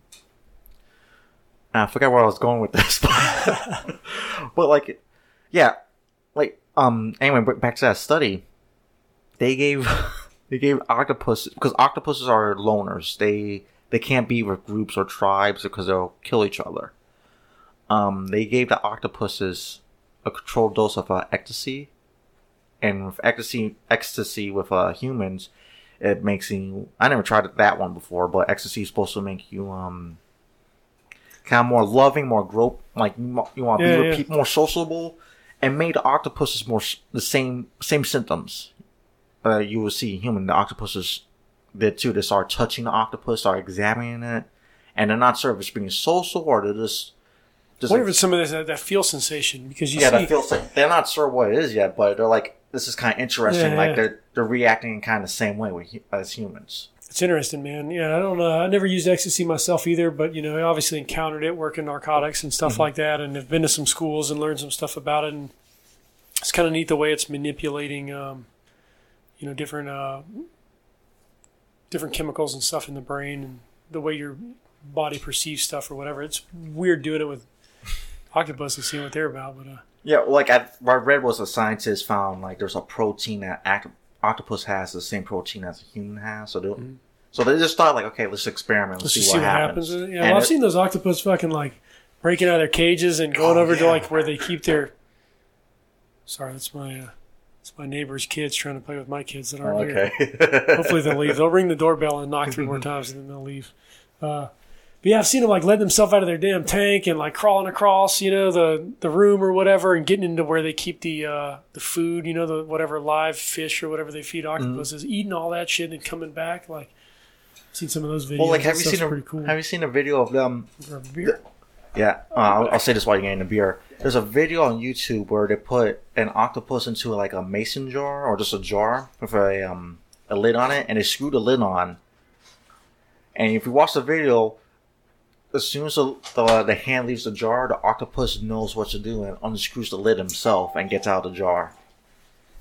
Yeah, I'm at, Fucking crazy. There goes the doorbell. yeah, just to let you guys know, I do these interviews either where I live or I go to the person's house, so mobile. Yeah, we are we are in uh, we are in Drew's house right now. I have a just just to let you guys know, Drew got a nice. I never heard his whiskey. Killing me. You talk about the whiskey. I'm going to tell the kids to All leave. right, yeah, Drew got this nice brand of whiskey called Eagle Rare. It's called well, it's called Eagle Ware Rare, and it's Kentucky Straight Bourbon whiskey. But it's really good shit, and he's drinking shit that he's a cop, but it's not. There's no cannabis in it, thankfully, but it's called Sweetwater 420 Strain IPA. I tried a little bit. I'm not a beer drinker, but that beer actually tastes pretty good. And this is this is someone who doesn't like beer. I tried a little bit of it, and plus it smells like marijuana. Yeah, this beer's crazy. So just so just so people know, there's no marijuana in Yeah, this there's no- beer. It's got this uh, this hemp stuff going on. yeah, it's in made it. with hemp. No no THC, but it just gives this flavor. It's kind of wild. It smells it smells good. It smells like marijuana, but like I, it doesn't taste like it though. Let's uh, we, you want you want to talk about marijuana real quick? Okay, While we're on this talking about police stuff, let's, uh, let's go get it. for it. So marijuana, man, I've listened to some of your podcasts. Heard you started kind of experimenting with it, I Mm-hmm. guess, uh, or not experimenting with it, but using it kind of recreationally. So people ask me about this all the freaking time, man. I know they used to bug you about it too. I'll tell you, I'll tell you a marijuana story. Did you, did you ever smoke one, or did you just I did. I have. Okay. Yeah, yeah. I smoked. back, uh, back in the day? I smoked marijuana twice on two occasions. Mm-hmm. Um, when I was 13 and when I was 17. Okay. And I'll tell the story about both. Um, so when I was 13, man, I, I lived in uh, Arizona. My dad was in the Air Force. We were at Luke Air Force Base, Glendale, Arizona. I was 13 years old, man. This has got to be like fucking illegal or something. But I was, I was working. Yeah, of I was course working at. Uh, no, no, not the weed thing, man. I, I was working at the commissary Mm-hmm. on post during the day because you know I was homeschooled and shit. And um, there were these other these teenagers that were there, you know, uh, during the summer and stuff, and, and we were bagging groceries and pushing carts. I started off pushing carts, and I think I was making like minimum wage, or maybe I was making like five dollars under the table. I don't know, dude. I don't even recall. But then when you're bagging groceries, we made I think we made like straight tips, man. We didn't get paid at all. And so what you would do, it was a couple of these teenagers, and then it was me, you know, this this 13 year old, 12, 13 year old you know, punk ass kid, and then it was a bunch of these uh, a bunch of these uh, Korean ladies. So a lot of these Air Force retirees, they had gone to Korea, done their tour of duty in Korea, married Korean women, brought them back to the to the states, Yeah. and they in turn went and worked at the commissary. and so what you would do, you, you would do what was called following people. So let's say there's register 12. There's, let's say Sue is on register 12. Um, I would come up, I'd be like, hey, can I follow you? She's like, yeah. So what that means is you help her bag the groceries. She then takes the groceries out and whatever tip she receives, or whatever tip they get in the little tip box or the little box where they hand her at the thing is hers, and then you get the next one, Oh, okay. the next customer. So we would do that. We'd make tips, man, make money and change or whatever. Again, that's got to be against some kind of labor law, dude. I was 12 and 13 doing this stuff in the heat in, in, in the summer in Phoenix, Arizona. Bro, that gives you integrity. That's all. Yeah, it was crazy, right? So I had this dude. Uh, his name was Jeremy, man. I remember this guy. He used to wear an AFI hat, and at the time, I didn't know what the band, who the band AFI was. Started liking them later in life, but um, they went out there like, "Hey, man, we're gonna go. We're gonna go smoke some weed," you know. And I was like, "Oh, you know, I'll be fucking rebellious, right? Let's go smoke weed." And I was skateboarding and stuff at the time, so we grabbed our skateboards. We jumped in somebody's like minivan or something they borrowed from their dad, and we all drove off to this new construction site and uh, somebody pulled out a joint, passed it around, smoked it. I'm coughing to death. Um, they had to teach me how to inhale because I didn't know how to do it. Um, and then, I, and then I just, I just, one, I thought it smelled horrible, burning marijuana. I still think burnt marijuana smells awful to this day. Um, we, uh, all I did was think everything was funny, and like my, my, my balance and my like proprioception, kinesthetic awareness was bad because I was skateboarding and I couldn't do some of the tricks that I could normally do. Like I was just, cause I was high. Mhm. And um, in my first high, which is probably pretty, you know, pretty high compared to subsequent highs. Um, and it, it didn't seem worth it, man. And I don't know if it was guilty conscience or what, or my dad pressured me. Like I didn't go home smelling like weed or anything like that. But my dad, I ended up telling my dad. And my dad told me, man, he said, uh, he said, you're weak, you're weak minded. Mhm. I was like, nah, man, I'm not weak minded. You know, like I did this for me. Like I just wanted, he's like, it's not peer pressure. I just wanted to know what it's about. He's like, you're weak minded. So you couldn't, you couldn't know that that's there and have an understanding of what it does and then, and then decide for yourself that you don't need that, that you're, you're, you're strong enough without it, you know? And whether or not my dad was right or wrong or whatever, or what anybody's personal opinions are on marijuana or any like mind altering substance, you know what I mean? Um, or drug. He told me that and that, that stuck with me, man. That stuck with me pretty hard. And it's it's become more significant later in my life than it was then. Um, that was my that was my experience with weed. And then oh, 17, I was at a party uh, with some people. Can't remember if I joined the military yet or not. We were at a lake house. Second time I ever drank alcohol, I think. um, second or third time. This dude that's there, who I don't know, he was talking about, uh, you know, he had some weed or whatever, and he had uh, he had this thing he breaks out. He's like, it's a dugout. I'm like, what the fuck is a dugout, right? And it's like this, it's like this porcelain pipe that looks like a cigarette. Like it's hmm. painted up to look like a cigarette. Oh, Like, It looks like it has a filter. You know what I mean? And he he put some he put some marijuana in it. You'd hold a lighter up to it, and you try to like you know inhale the fire into the marijuana, burn it or whatever. I was like, dude, I don't know how this fucking thing works, man, and I'm I'm kind of kind of intoxicated right now. So to be honest with you, man, I don't even know if I actually inhaled any marijuana smoke. I don't even know if I actually inhaled any marijuana smoke that, that night or not, man. But I put it on my polygraph packet. Talked about it during my polygraph. So like I, I've been honest about it. It's the only two times I've ever messed with anything like that. what's your thoughts on it now? So I'm I'm glad people are moving away from hiding behind the medical marijuana bullshit. Um, Yeah. and I'll call it bullshit, dude, because I think that shit is a scam. Well, I think T- THC does nothing for fucking fighting cancer cells or any of this other shit that's purported to happen. You know that, that marijuana is supposed to do.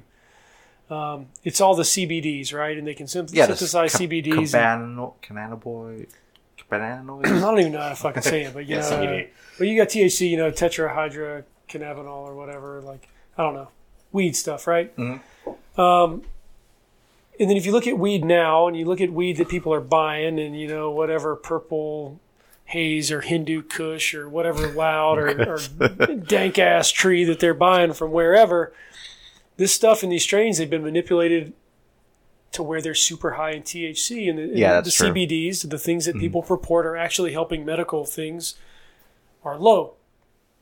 So what they want is that psychedelic effect that they get from THC. So they want to get high. Mm-hmm. So stop bullshitting me about like, oh, you want to fucking, you know, it's like no, you want to get high, man.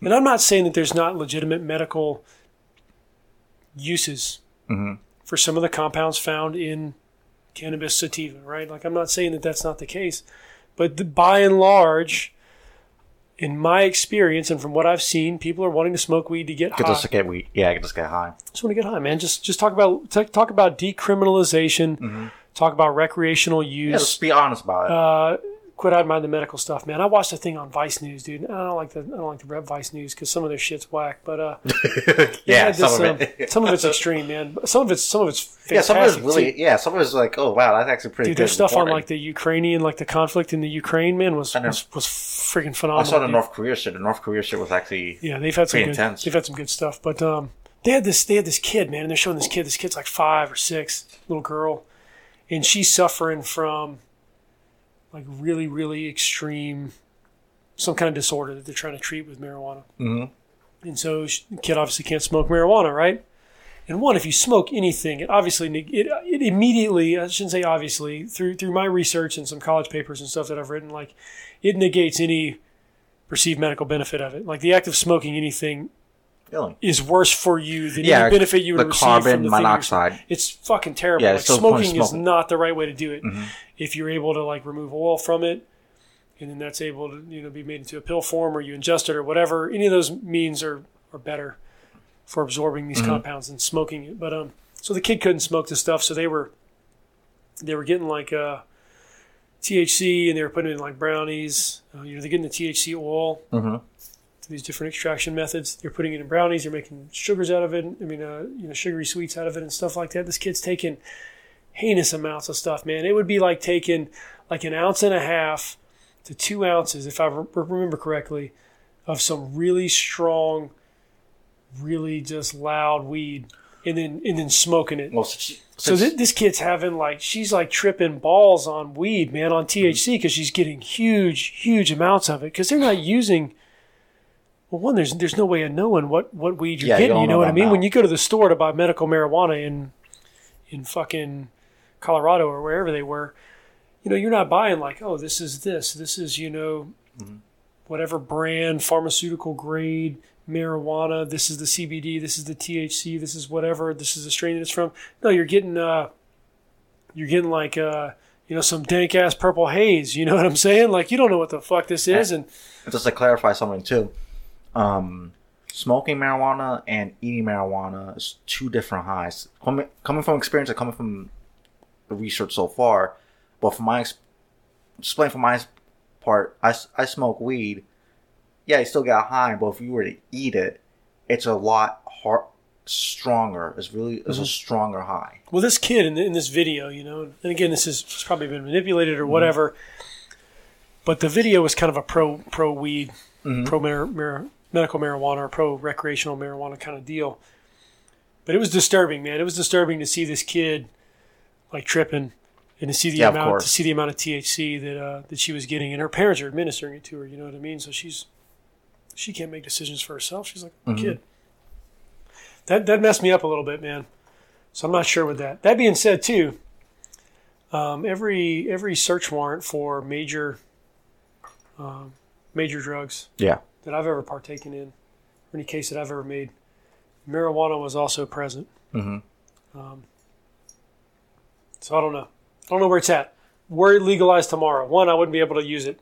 Yeah, it's true. You know, but let's say let's say I wasn't a cop or I wasn't in the military because you know Canadian military just made it where they're, you know, I'm pretty sure anyway, their armed forces can use, or maybe can be prescribed medical marijuana now. Yeah, they legalized it in Canada across across the whole country, but I didn't know about that part. Yeah, I think, I think their military members can now use it. There was something I saw in Army Times about that. But um, anyway, I would not be able to use it. Let's say I did a job where I where I could, if it was legal. Let's say recreational marijuana is legal, which where I work now, they just passed a city ordinance, not decriminalizing misdemeanor amounts of marijuana, but creating it to where it's like a city ordinance citation as fine. opposed to an arrest. And I got opinions on that and, and where that actually came from, the spirit of that law, but I won't get into that. Okay. I'll just say I were I allowed to use it, I would not.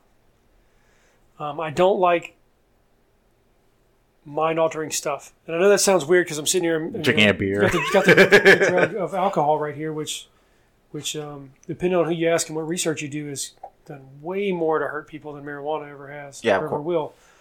Um, but I don't get drunk. I don't even like being buzzed. Um, I drink small amounts of beer. I drink craft beer. I like the way it tastes. That kind of it's a hobby of mine. But I don't. Yeah, I love whiskey. I don't get drunk, man. I've been drunk about five times in my life. Really? Yeah, man. Oh shit! That's Don't like don't like getting drunk. The, the only thing that I've started to mess with now, as far as some kind of mind altering or like euphoric state that's brought on by something else, is is fucking running, dude.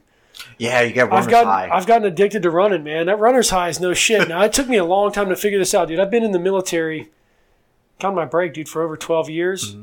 I did a lot of running, and it sucked all the time, man. Only recently have I gotten to where I can really break into this thing, and I'm like, man, this is this is where it's at, dude. And I don't know, you get to that point where shit hurts, and like your brain's not like release some dopamine. This shit hurts. We got to cover this up. I don't know what it is, man, but it feels good. yeah, I think it's the. I'm probably wrong about this. Is it's both the endorphins and the dopamines, and one of those I forgot if it's dopamine is similar to uh, opiates. Yeah, same, yeah, same receptor. Same yeah, I think that's actually, you know, I'm, I'm talking out of line here, you know, because I don't, I don't use uh, opiates, but yeah, those things uh, cause your body to release those natural, those natural chemicals pain, or whatever. Pain sto- uh, stops the pain. But yeah, Um, it does that, man. It, it burns cortisol, you know, stress stre- gets rid of stress and makes makes the world better. Keeps me skinny. Mhm. Lost a lot of weight. I'm down like 38 Well, you, pounds. when I saw you for, I thought you always looked the same. You, you were always um in shape. Yeah, I was always, t- you know, kind of tall, kind of lean, but yeah, I I got up. I was around about 205, and I'm walking at about. yeah, I uh, never, I never thought you'd be that. that much Yeah, weight. man, I'm, I'm I'm floating around 168, 170 right now, man. It's the smallest and uh, or the, the leanest and uh, most in shape as far as running anyway I've ever been. Not the strongest. I, I I've been stronger before, but I'm liking it. It's the, the new the new me. Yeah, I don't like uh, I don't like stuff that messes with my mind, man. I don't like stuff that influences me one way or the other. Um, and and, and weed does, man. And, Mhm. and anybody that says it doesn't is is full of shit, dude Well, I think. uh, you interview people, you deal with people that are high on the street, you know, mm, yeah. and uh, I'd rather deal with someone that's high than someone that's drunk. Yeah, of course. People that are high are usually more cooperative. You know, Yeah, high on weed, high, high on marijuana. Yeah, like they're um one thing I tell people too. It's like the same as you said exactly. Like I'd rather deal with someone that's high on marijuana than drunk, because alcohol makes you uh it stops your inhib- inhibitions. Yep. Basically, that that voice in your head that tells you don't do it Mhm. because you could go to jail or you know lose your job. That voice is just quiet Yep. and um, a lot of violence comes with alcohol with being drunk. But with weed, I'd rather deal with someone else high on weed because you could talk to them like, okay, no, just gonna. They might be annoying, but not they're not gonna be combative. Typically not. No. Yeah. And yeah, you can deal with them, or maybe they'll be like really cooperative. Yeah, You're like, yeah, you can, you know, search But- my car. yeah, sure, right. of course, if I, if I if I smell weed, I don't, I don't need the permission to search my car, but uh, or search their car. But uh, drug people suck, dude. And I learned that working this job and festivals and special events downtown and Same. stuff and bars. yeah, Yeah, like I don't, I have no desire that whole drunk scene, and so I missed it, man. I guess. So I was homeschooled, Mhm. and my dad didn't really drink.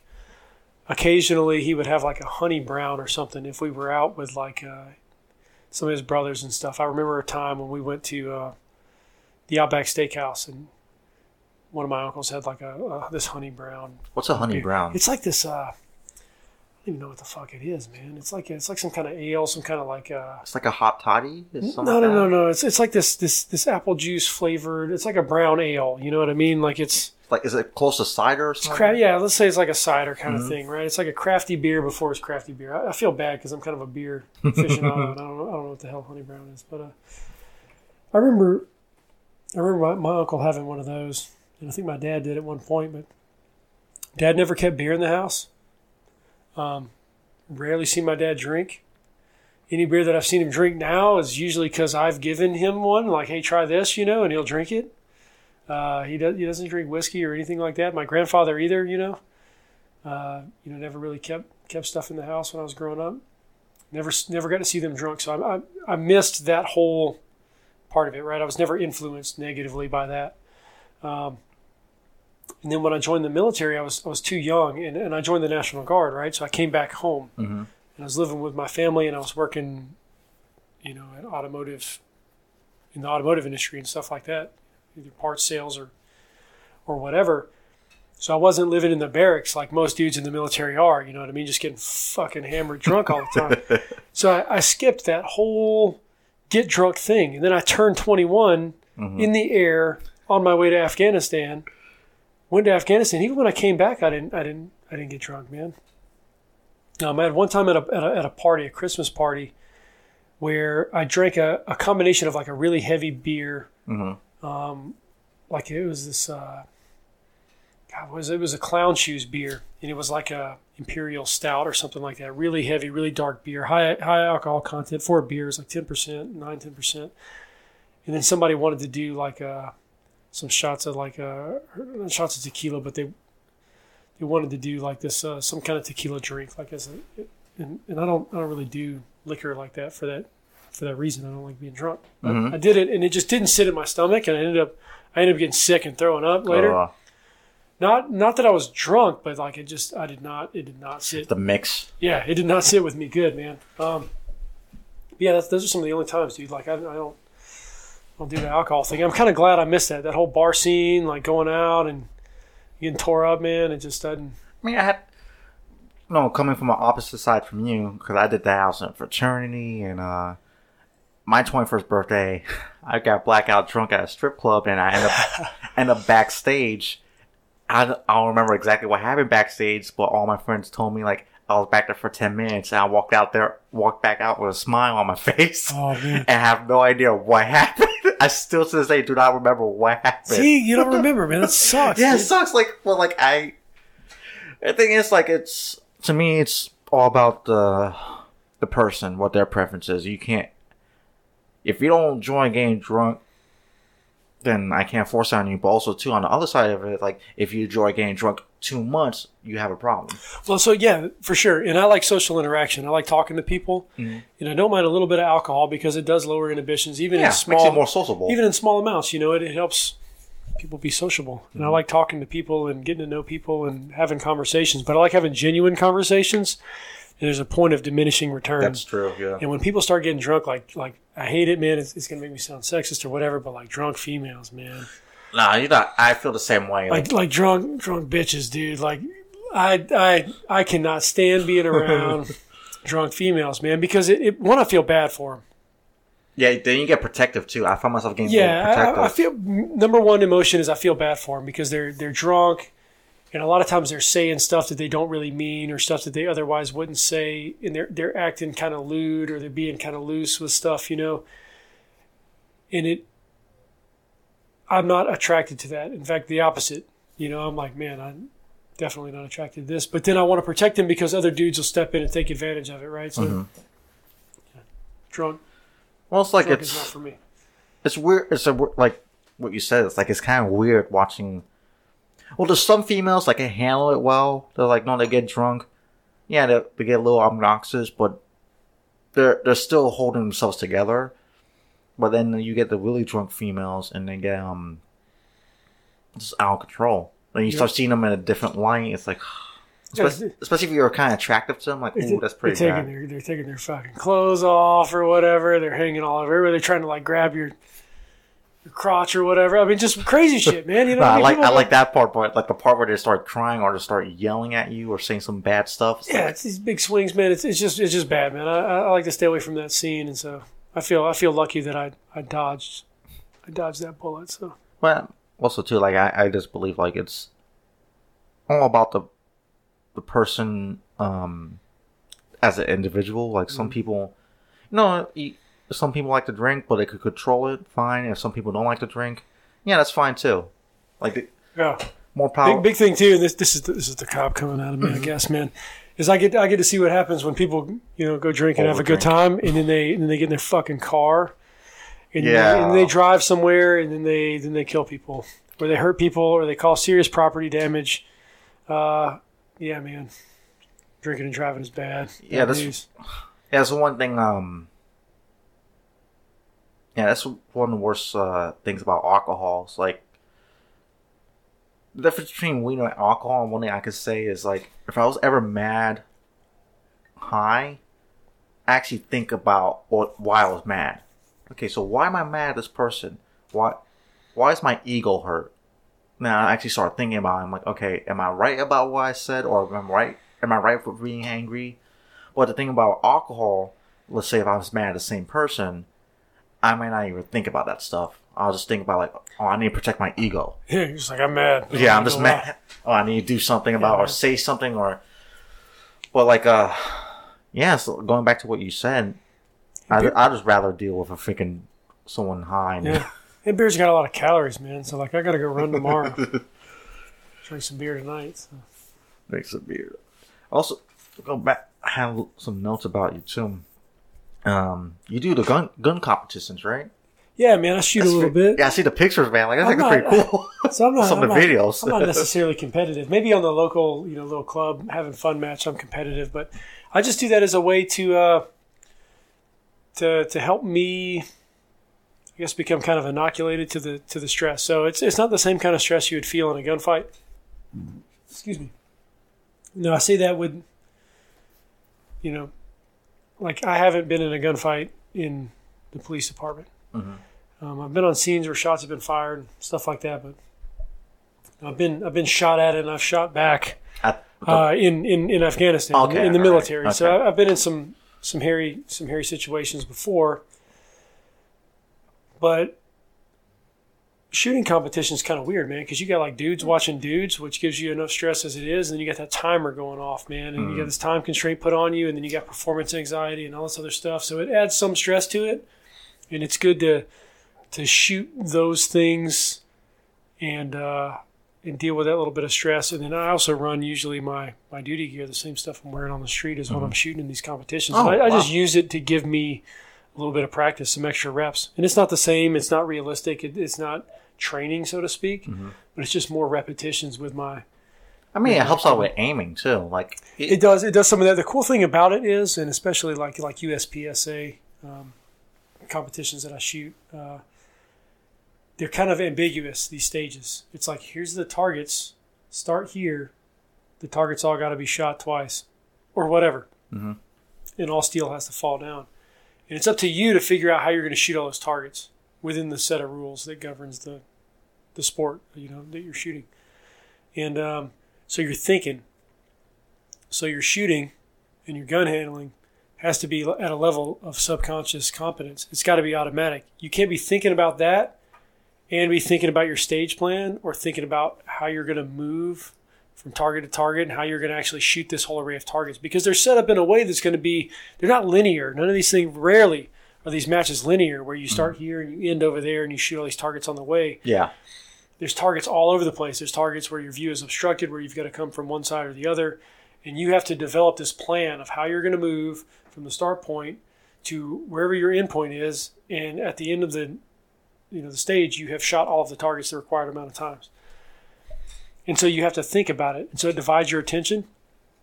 And your shooting and your gun handling has to be kind of automatic. You can't be thinking about it. And, and on occasions where you have to think about your gun handling, or maybe like you're shooting and you're not shooting quite on par and you've got to really bear down and focus on your fundamentals and on- on your front side to hit whatever steel or whatever you're shooting at. A lot of times the rest of your stage will kind of go to shit, you know. Mm-hmm.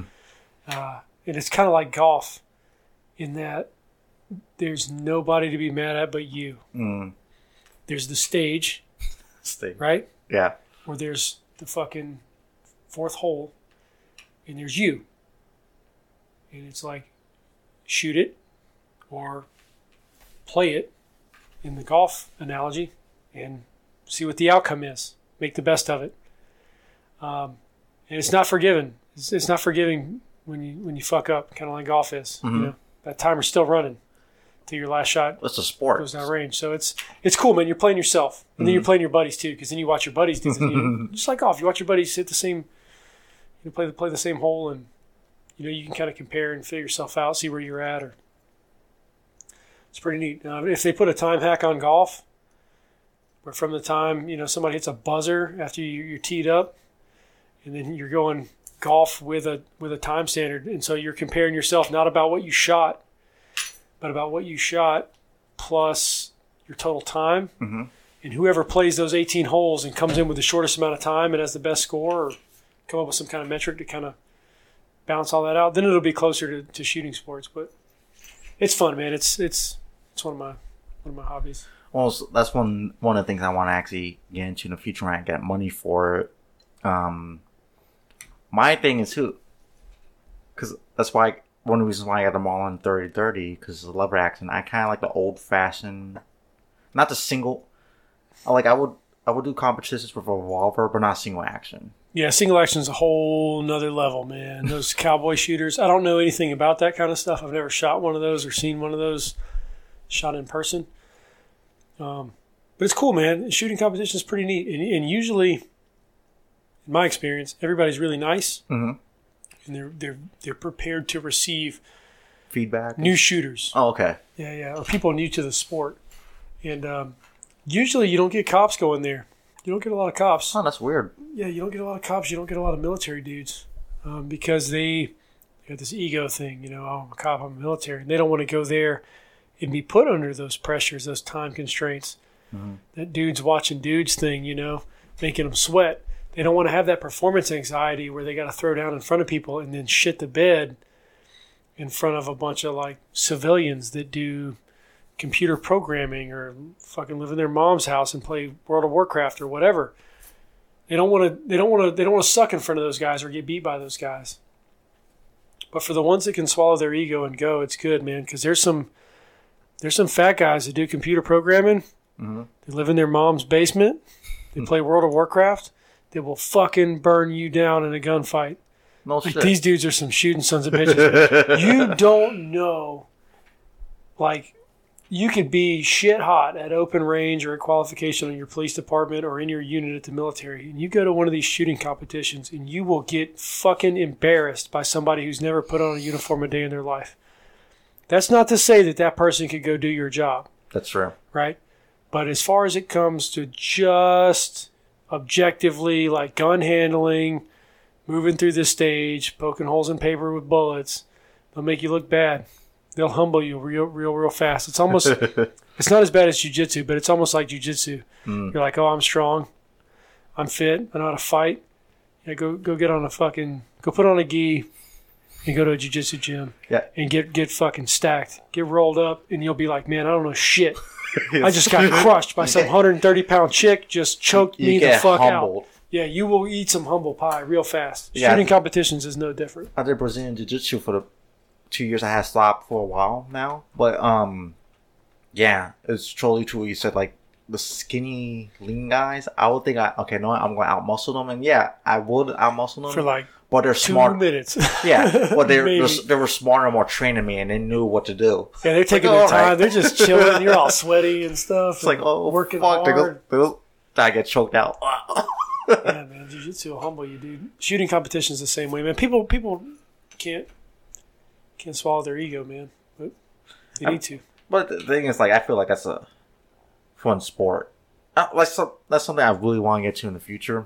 Try, man. It'll they will be anybody that's there, any of those those computer programmers, Mhm. you know, that'll they'll shoot I'll shoot you real bad.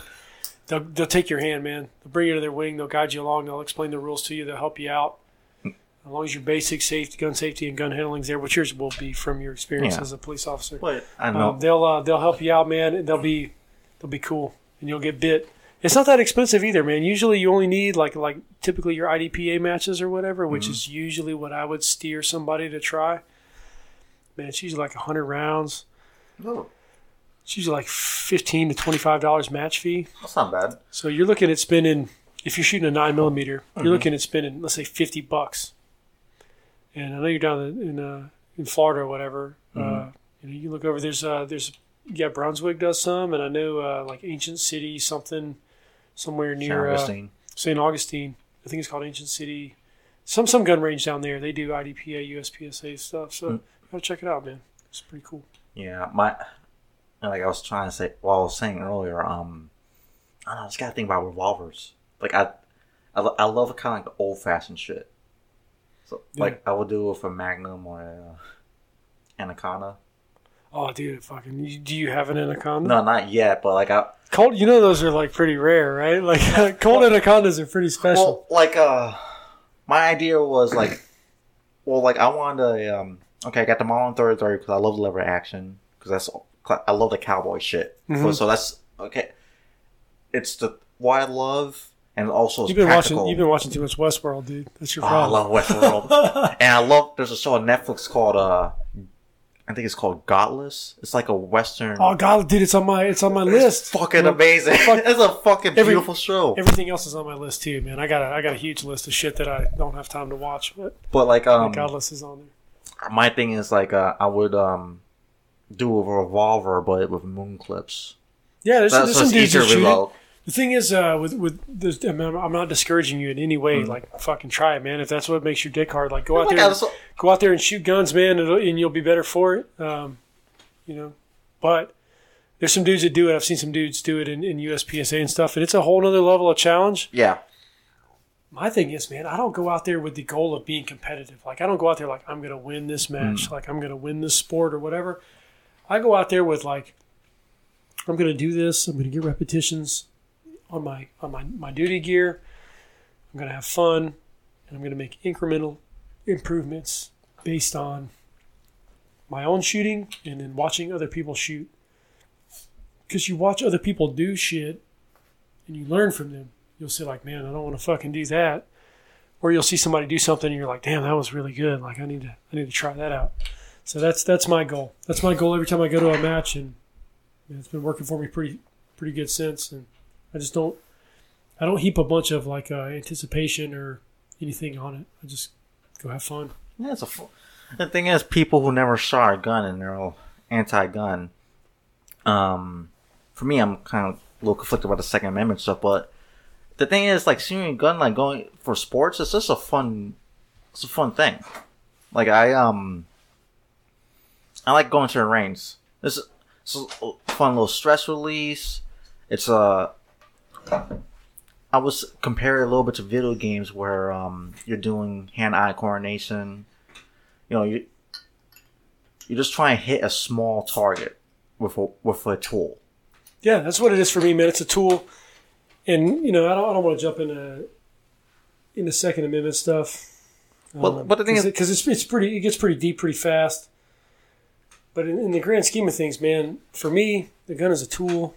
It's a tool that I hope I never have to use. It's on my belt, and uh, the adage, racist or not, you know, the, it's the Indian, not the arrow, kind of thing. You know. Standing up there. I can I can say that because I got some uh, shit, dude. I'm from Northeast Georgia, man. I got everybody's got Cherokee in them, man. Cherokee. I'm, Cherokee. my wife's like a fucking quarter Cherokee. Um, yeah, man. It's the Indian, not the arrow. So it's not about the gun, man. It, it- it's not about the gun. No, it's not. It's, it's mindset doing a job.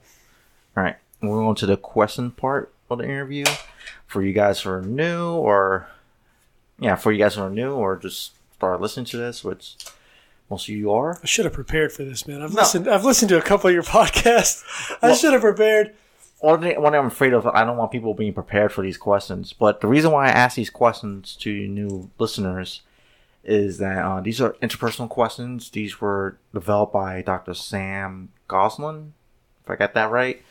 Um, be, these questions supposed to show like an interpersonal, your kind of like your inner self, the self that you don't really show people.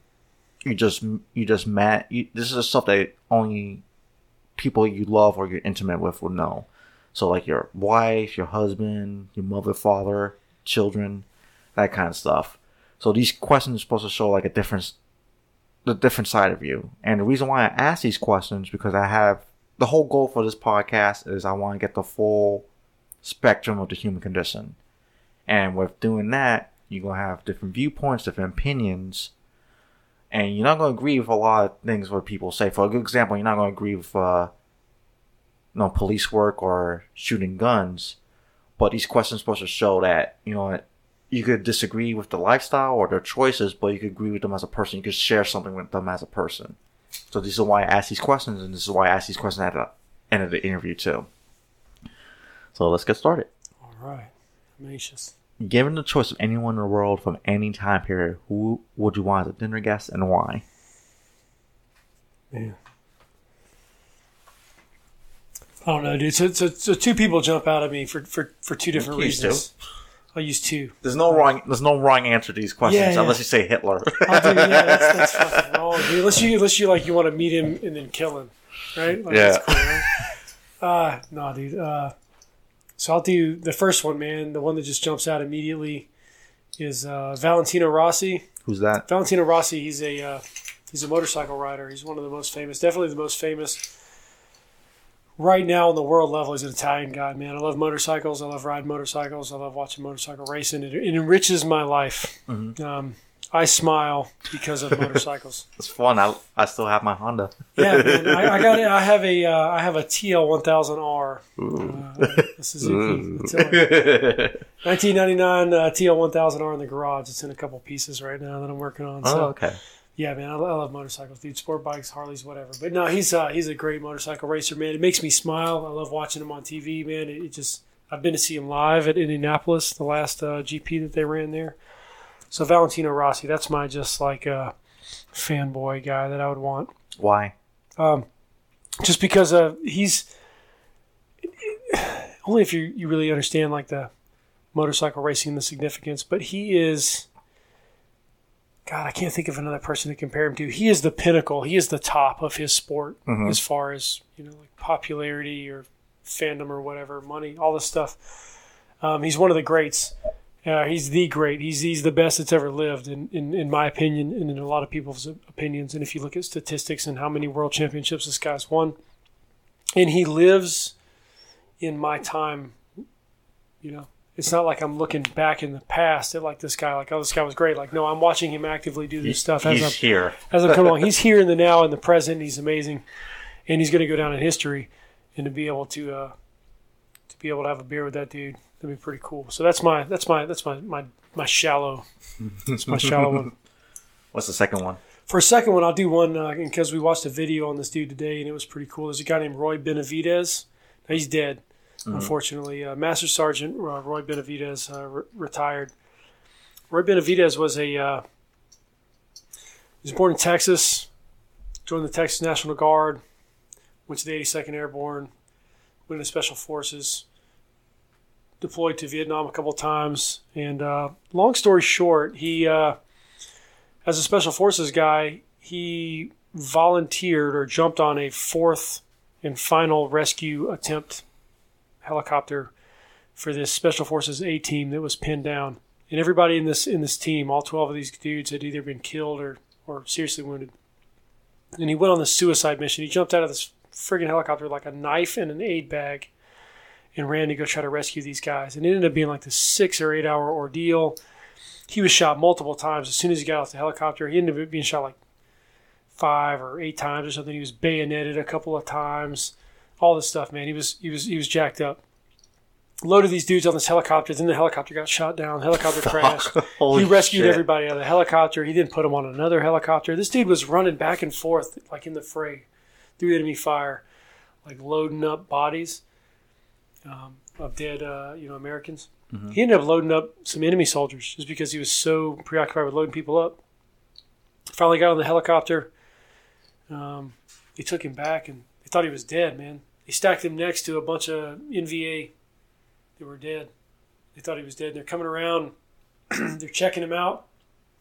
The doctor's touching his chest or his neck to check his pulse. He can't move. He can't talk, man, because his jaw's swollen shut. His jaw's broken. He's been shot through the face mm-hmm. and he spits in the doctor's face. That's the only thing he can do to communicate to this doctor, like, you know, I'm alive, like, don't Yeah. kill me. So they went and they saved him, man. They thought this dude was dead. He should be dead for, looking at all the injuries that he sustained. But uh, he ended up winning the uh, the Medal of Honor and uh, Congressional Medal of Honor. And he um, he's a Hispanic dude, and uh, he always spoke uh, about like it doesn't matter what what race somebody is, if they're black, white, Mexican, whatever he never paid attention to any of that. You know, he was just there wearing green, bleeding red, white, and blue. you know, doing doing real shit for his country, man. And it was cool. And uh, I, in training today, we we watched a little video about him, and I've known about him for since I was a, you know a real young guy in my shit, man, pre-teens. And he's always been a pretty amazing dude. So I'd say yeah, man. If I could, if I could buy Roy Benavidez a beer, you know, s- salute his Medal of Honor. Like that'd be that'd be pretty I awesome. just sit down and talk to him and pick his brain. Like, man, who the hell are you? dude? so humble, man. Incredibly humble. Cool guy. Okay. What would constitute a perfect day for you? A perfect day, man. So, what's cool for me is uh, like if, if I'm working midnights and my girls are already up, Mhm.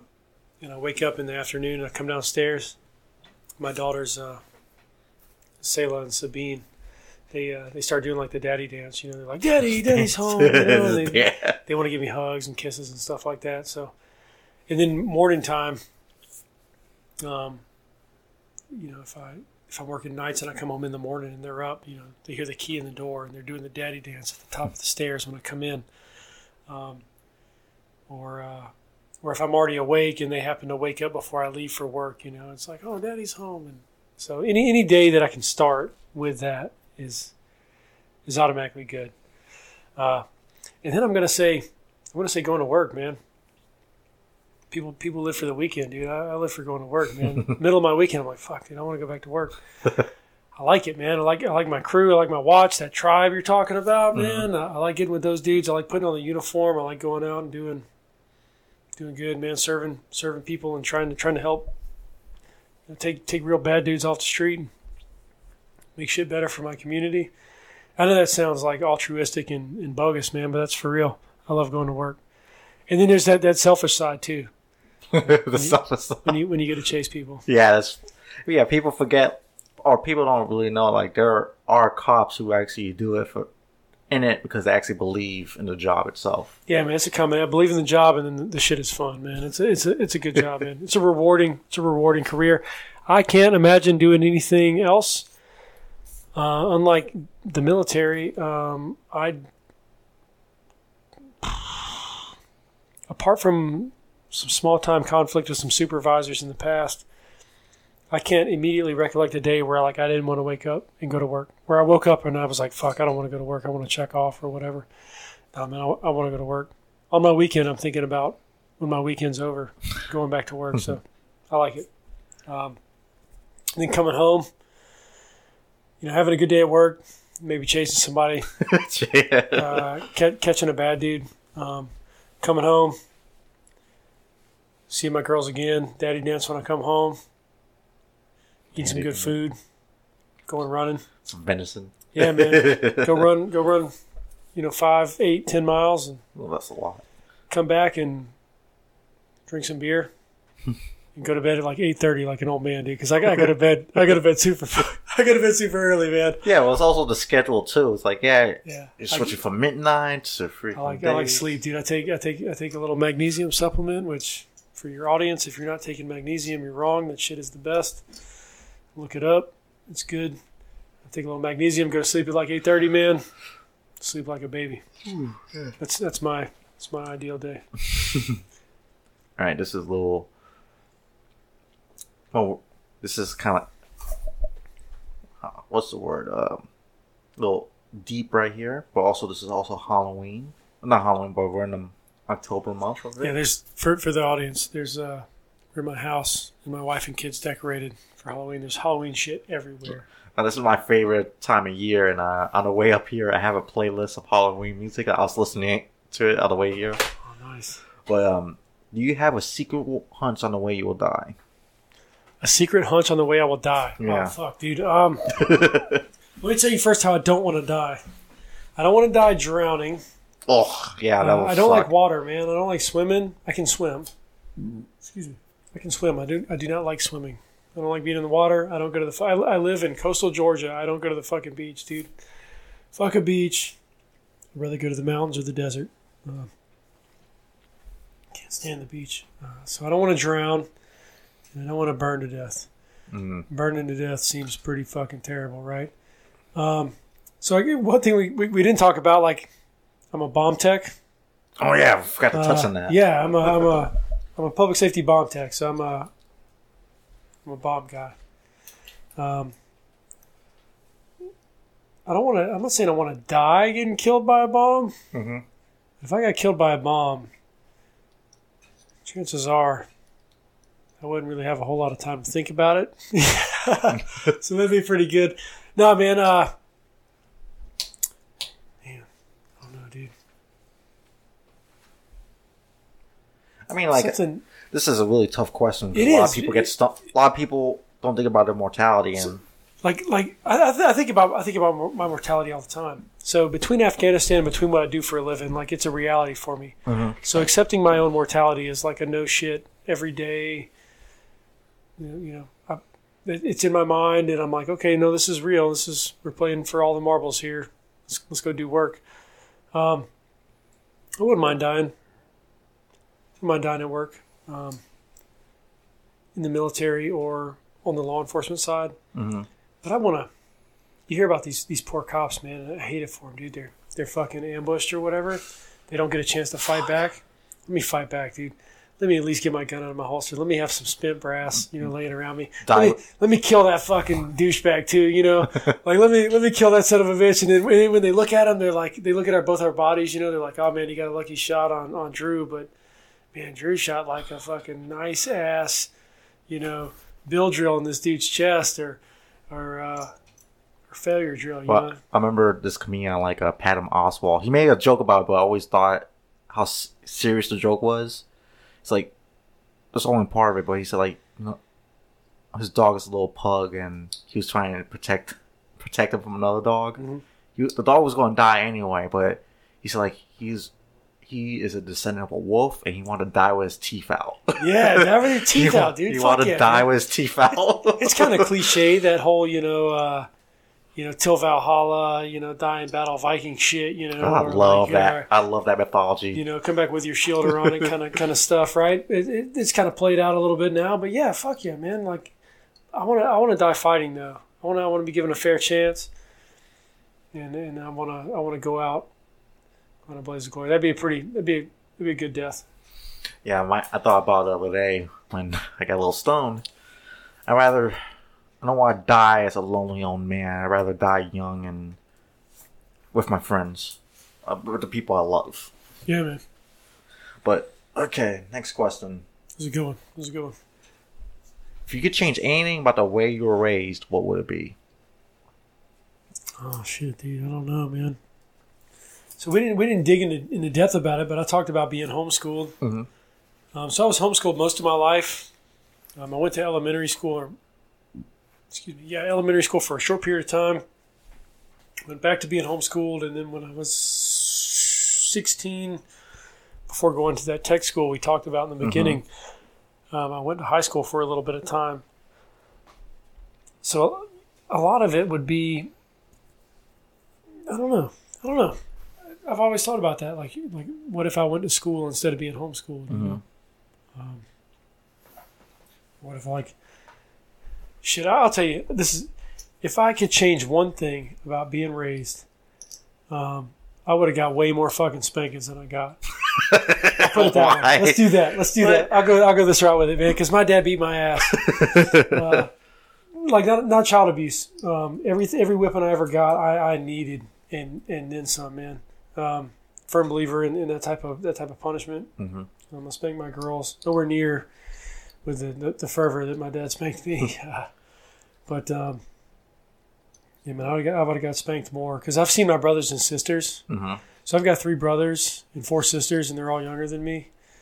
I'm the oldest of eight, and uh, they were all spanked much less than I was, and I think they're worse for it.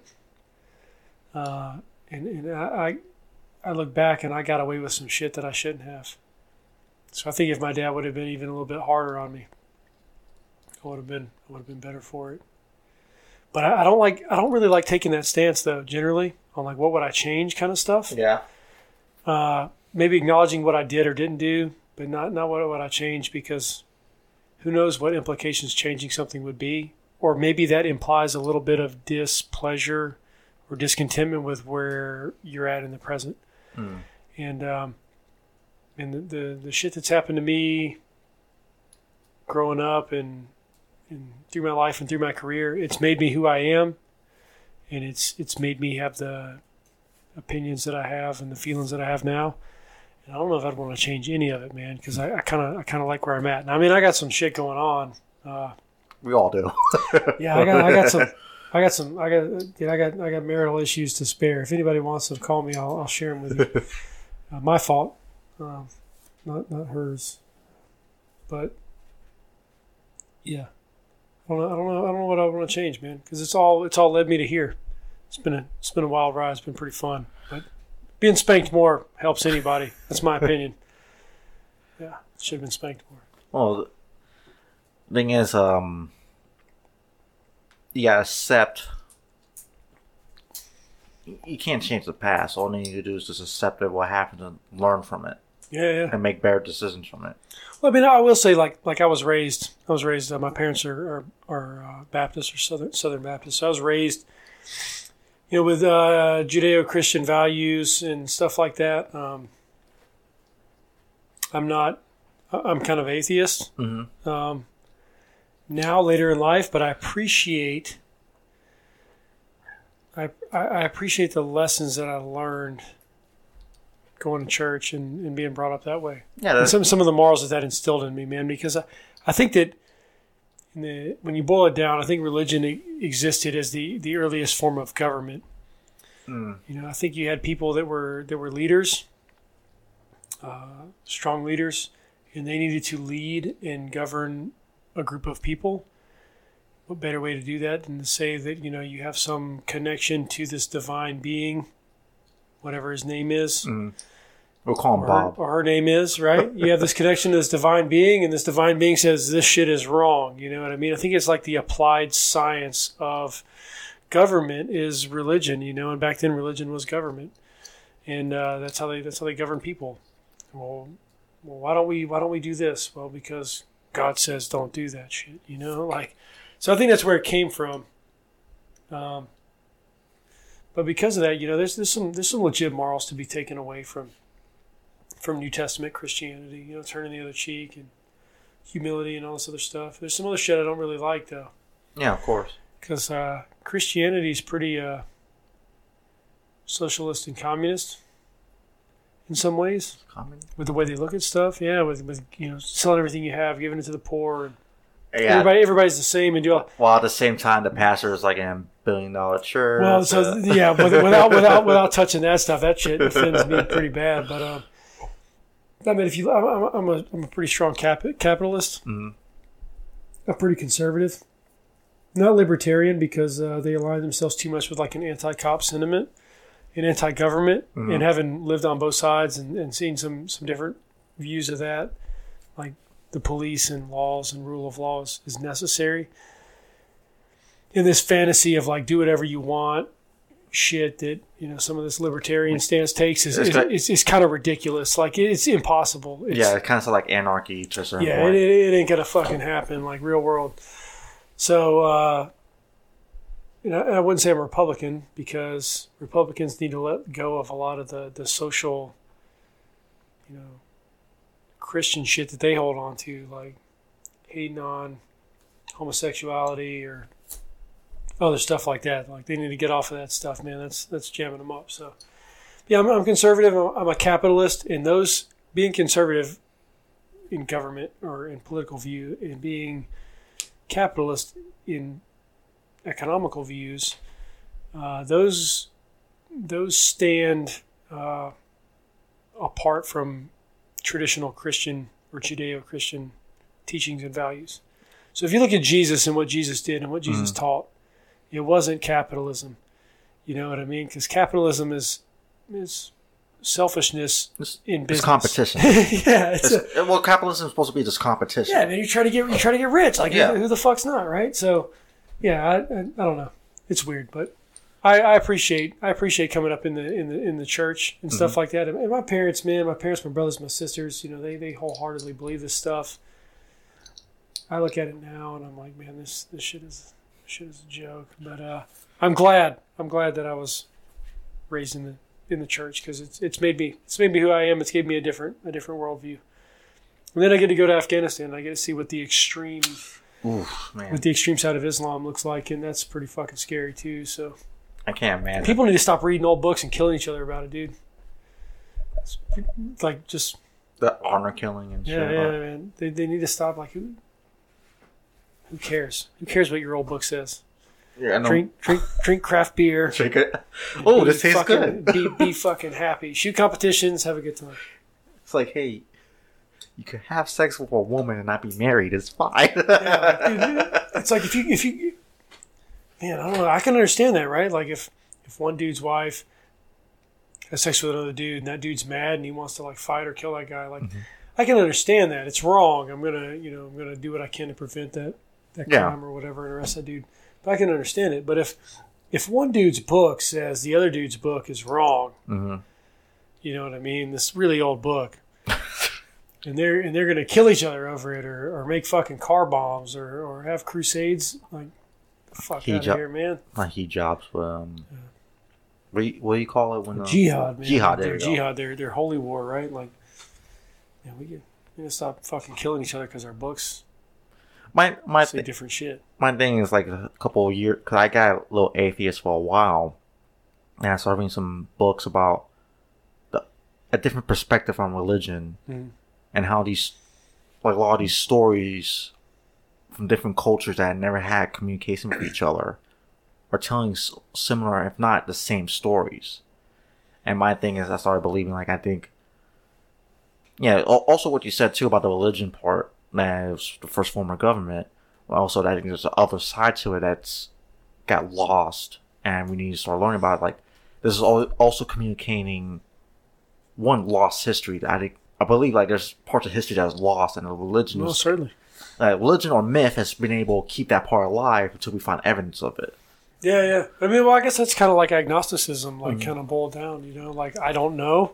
Like nobody wants to have that answer if I don't know. Right. It's like, well, what about this? You know, Well, it's that's like, well, I don't know. What about God? You know, why are we here? Like, I don't know. I'm that's the best answer. trying Like, to figure that out. you know? it's better than say like, "Oh yeah, I know for sure." Just- Let's say I don't know. Let's go find out. Yeah, I don't want to say. I hate to say atheist, man, because atheist. Excuse me, atheist. Um, the word atheist and atheism brings a lot of connotation. It's not the word; it's just the people behind it too. Yeah, so you, you get this, you get stereotyped as having this like I hate or I'm against or I'm anti, um, and then you have like agnosticism, and that's you know like this whole other kind of weird thing. I just, I don't know. Oh. So I'll say that I don't know. One- I don't know what to believe. I'm not really influenced by some higher power. Just do my job, man. My my Enjoy thing, life. my thing is, I uh, If I'm wrong when I die, like shit, you know. well, God can't blame me. He's like, hey, you know, at least you were trying to figure it out. Mom, at least you were not blinded to mom, mom was right. Sorry, mom, if you listen to this podcast. We have these arguments all the time, and we usually agree to just not talk about not talk about religion. My, my family and I. One thing that I actually saw made me do, I do believe in there's something out there, and believe it or not, it's going to sound awful, but it came when I smoked DMT. The Oh, DMT, man. So like, I hit a DMT lab once. really? Yeah, yeah, we had a, we had, we was that for the for the unit or Yeah, yeah, yeah. That was on uh, when I was working narcotics. So we had a, we had a DMT lab. in town, dude. why? yeah, dude. Was, uh, was it just for an undercover We had operation? a lot of guns too. No, I mean we had, you know, been, people had been uh, buying, uh, I guess buying buying stuff from or whatever. Like probable cause was obtained to have a search warrant of this house where they were taking DMT and, oh, okay. and extracting the oils from the root and then making DMT to then sell it to people to Okay. use or abuse or whatever. And it's a controlled substance. So yeah, it's yeah, hit a DMT lab one time. I watched uh, Joe Rogan's little weird documentary about DMT. well, like It's about that's about the extent of my knowledge. I I can't even pronounce the word that DMT did my I, I, well, I don't know. I smoked it because I, you know, Joe Rogan and shit. I'm like, no, I, I want to see what's going on. And the thing is, I did mushrooms before that. I tried LSD before that, and I knew walking away from like, okay, this was a hallucination. I know afterwards, like, okay, I believe for a fact this was all in my mind. It was just from a drug. But with DMT, I only lasts five minutes, but it feels like you were It away. only lasts five minutes. yeah, it's not. Fuck. It's not. You're not. hot, And when you're done, when you come down of it, it's not like you're uh, hungover or anything. You just you walk away with wonder. Really, just a, a sense of wonder, and just like there's something else behind the curtain. Like you, you can't say for sure. You don't know for sure, but like, you feel like there's something else behind the current line Oh yeah, see that? See that? and and it's hard to say too because you took a drug to do it, but it's also at the same time it's like you can't discredit the experience. So Again, the, the extent of my knowledge of DMT is uh, just from the legal a, a code book in Georgia. you know, the official code of Georgia annotated, uh, and then that lab that I hit, Wikipedia, and uh, wait. in that documentary The that Joe, Netflix. in that documentary that Joe Rogan had on Netflix about uh, you know tripping balls on DMT and getting in like a hyperbaric chamber or whatever. So I, I haven't done that, but like uh, quick story before move on to the question. I did it with one of my friends, and I I was watching him make sure he was all right, but then he turned his he turned his seat because like he didn't feel comfortable me watching make sure he was all right because he didn't want to freak out. So we were both looking at the the, the tree line, and when we came down, he I was telling him like, yeah, I saw some figure. It looked like a monster, but like a friendly monster. That's the only way I could describe it. I know this sounds crazy. Then my friend described something else, but then he pulled up a picture, and the outline of the picture of the figure that he saw was the same thing I saw. I'm like, what the fuck? Damn, I'm like, and the thing is, like, I I don't want to say. I don't know what to say about that. I know, like, ras- logically and rationally and sci- scientifically, it's going to be hallucination, but it's weird that we both saw the same thing.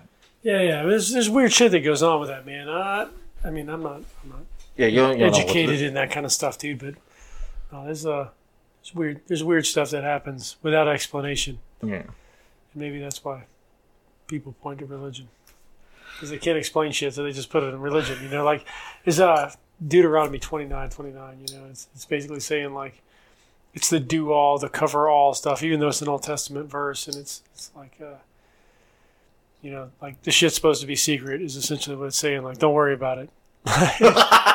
Religion. Yeah, don't worry about this. It's- it's- That's pretty much that's pretty much what it Don't says. I'm, I'm not going to quote it. I'm not going to quote scripture on your on your podcast. Ah, go ahead. I'm for you for your audience. Go look Actually, at no, Deut- Deuteronomy I- I am- 29, 29. Actually, I'm going to look that up right now because I want to know what. I hope I'm fucking remembering it right. Because that'd be interesting. Let's see. Give me one second. Don't ask me how to spell. Deuteronomy. What you said? Twenty nine, twenty nine. Yeah, Ooh, that popped up pretty fast. it's 29, 29. I hope so. Okay, well, let me pull this up.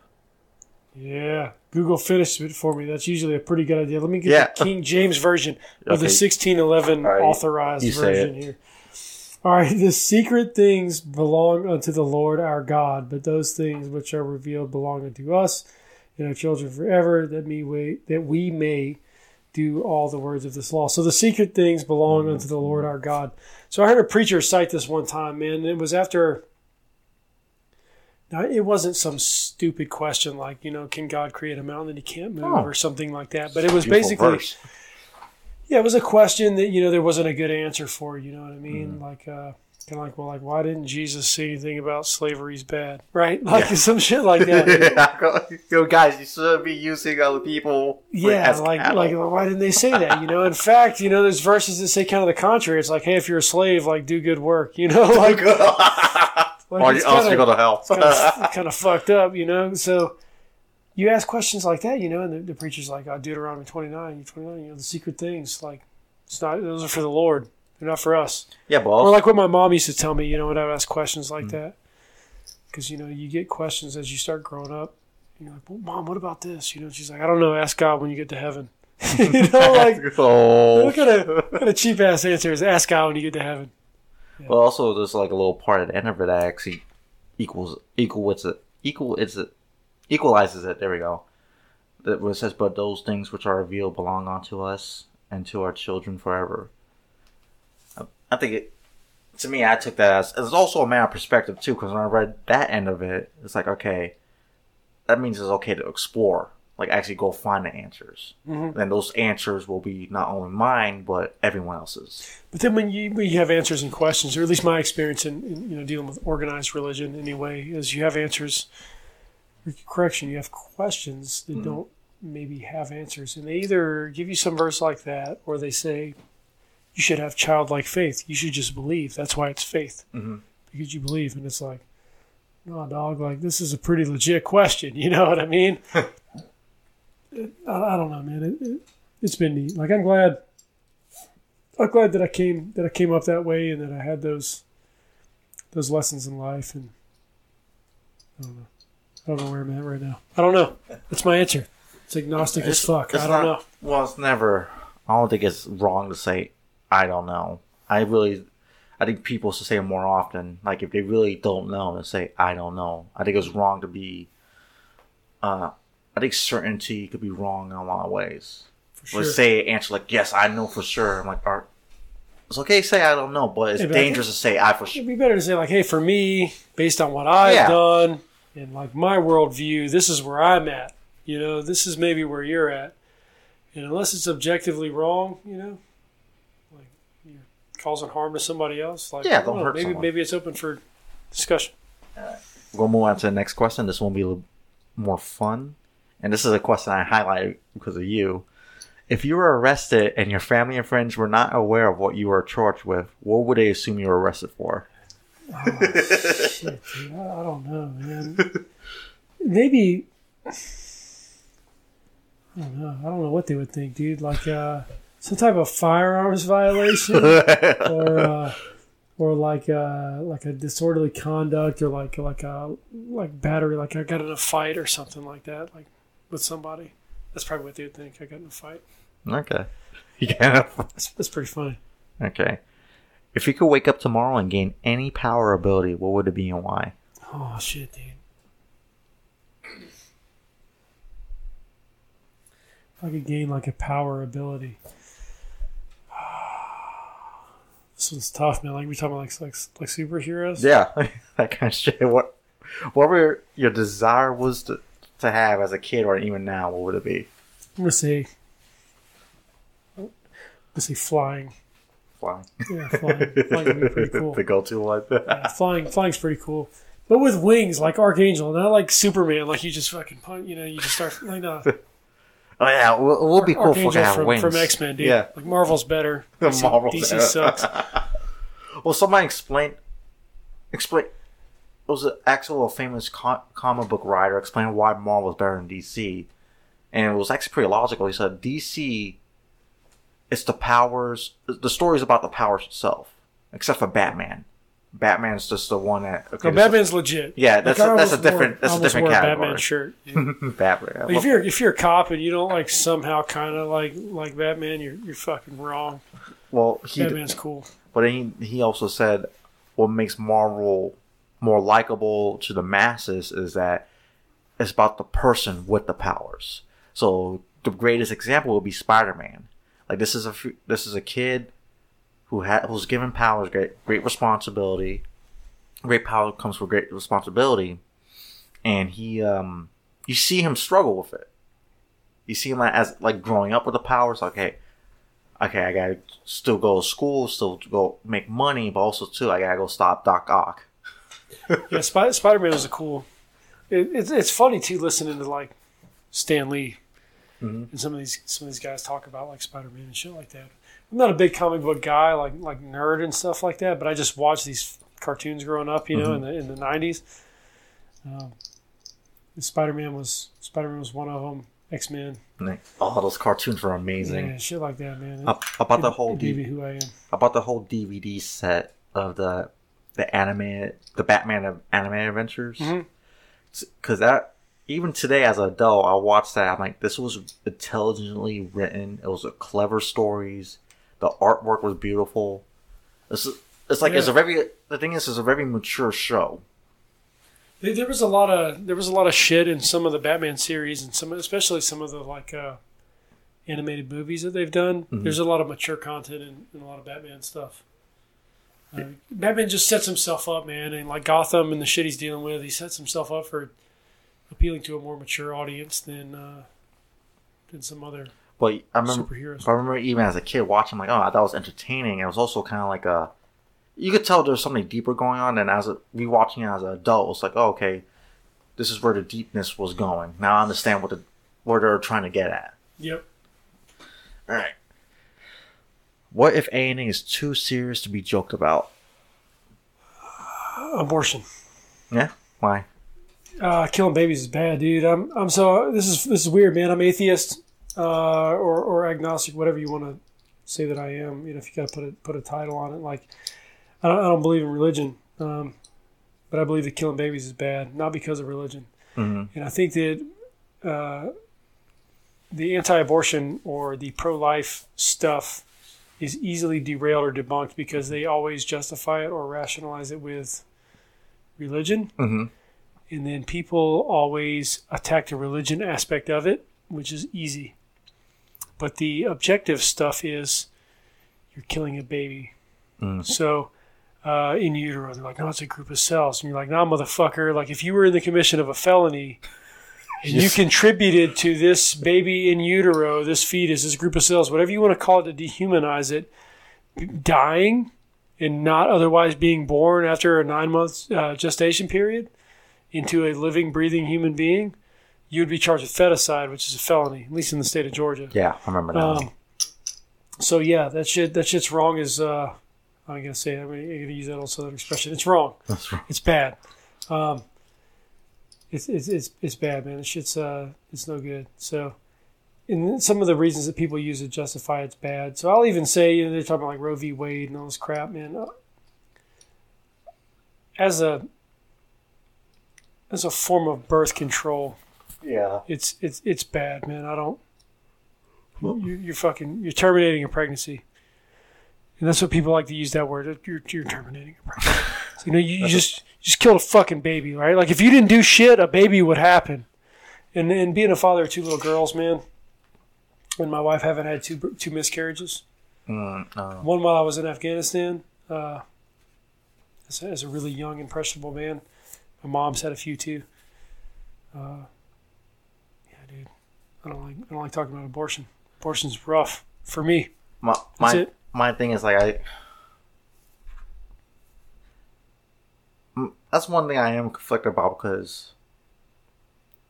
One, like if a woman's raped or something, like, can you really judge her for that? But then also too, it's like the other side what you just said too, is to not be used as a birth control method. Yeah, if you use and so that's why I like to say the birth control method because people always like to throw out you know that's the that's the the trump card is um, Mhm.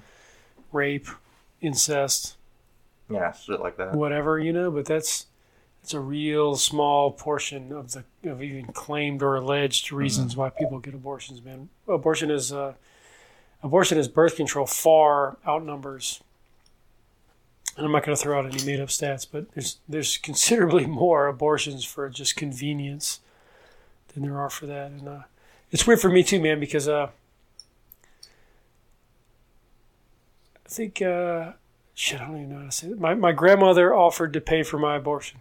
Oh fuck, that's fucked up. Yep. Yeah. So Shit. abortion abortion's weird, man. I don't like it. I don't like abortion. So that's too serious to be joked about. Everything else, man, that shit is fair game. I had, yeah, I had a friend who, uh, I'm not gonna mention his name because I don't want.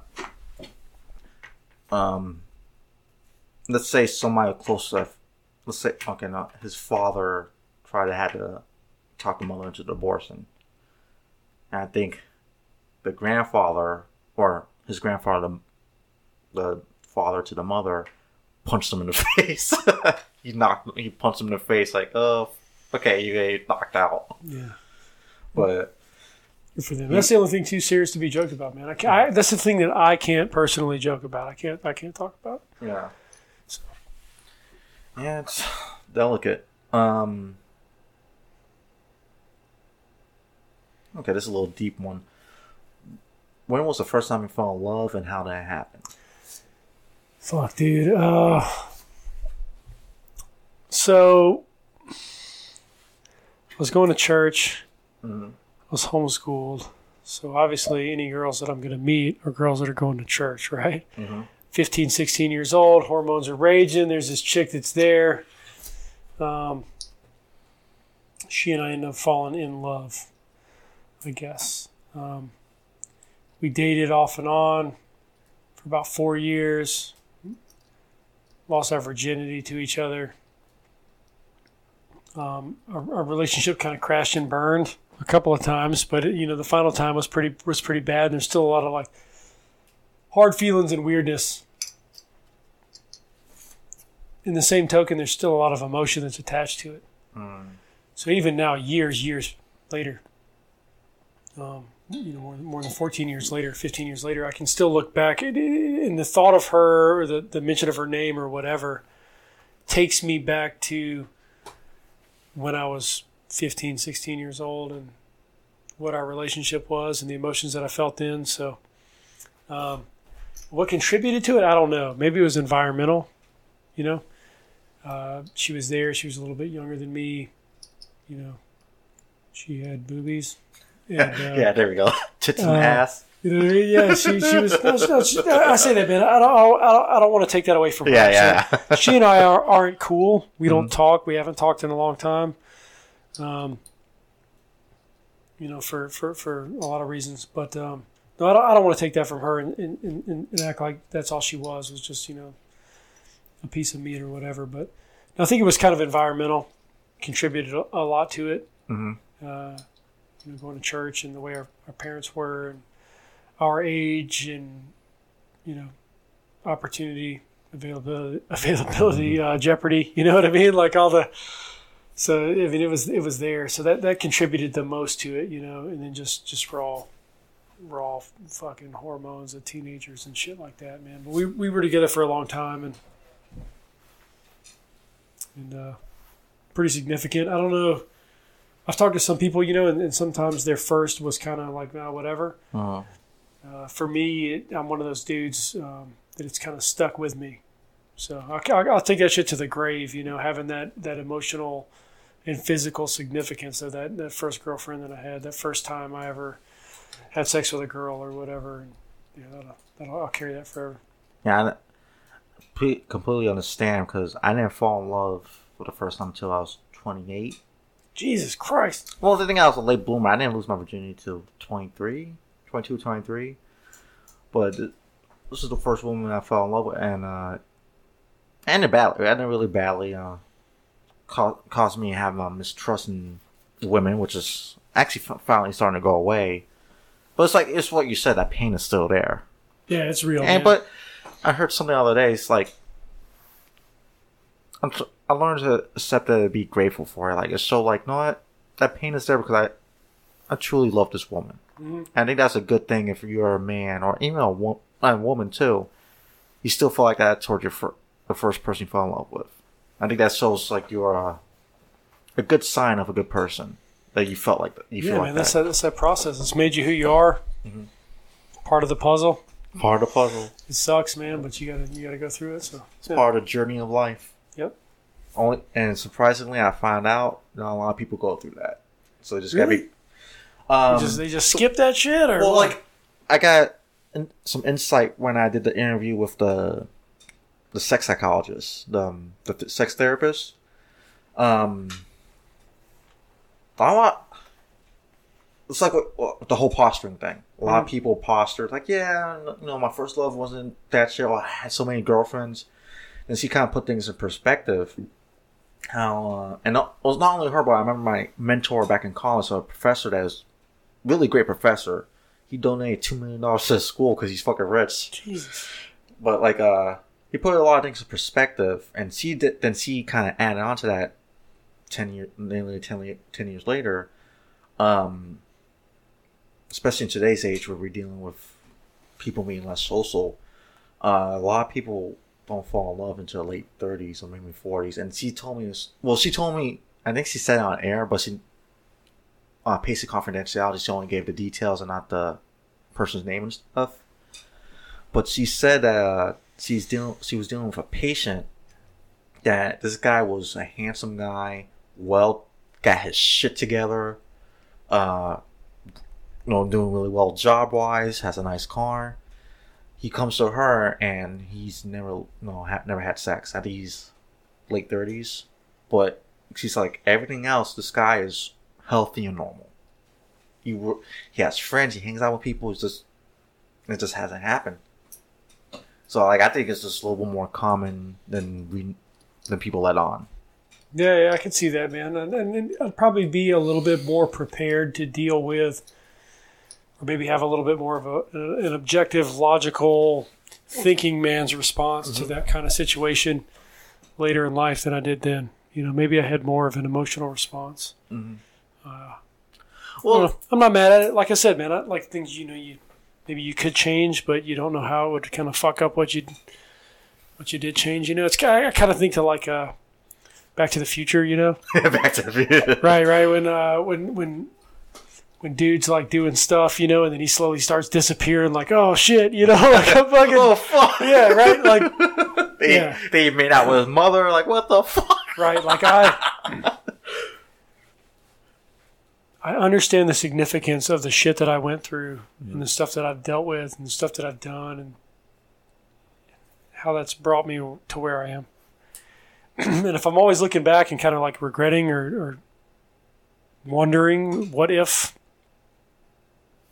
like we could what if this motherfucker to death, right? Like, I just focus more on the now and the future Well, and appreciate appreciate what happened, yeah, just the take pain it, felt. take as a lesson for the woman that you, you're in love with.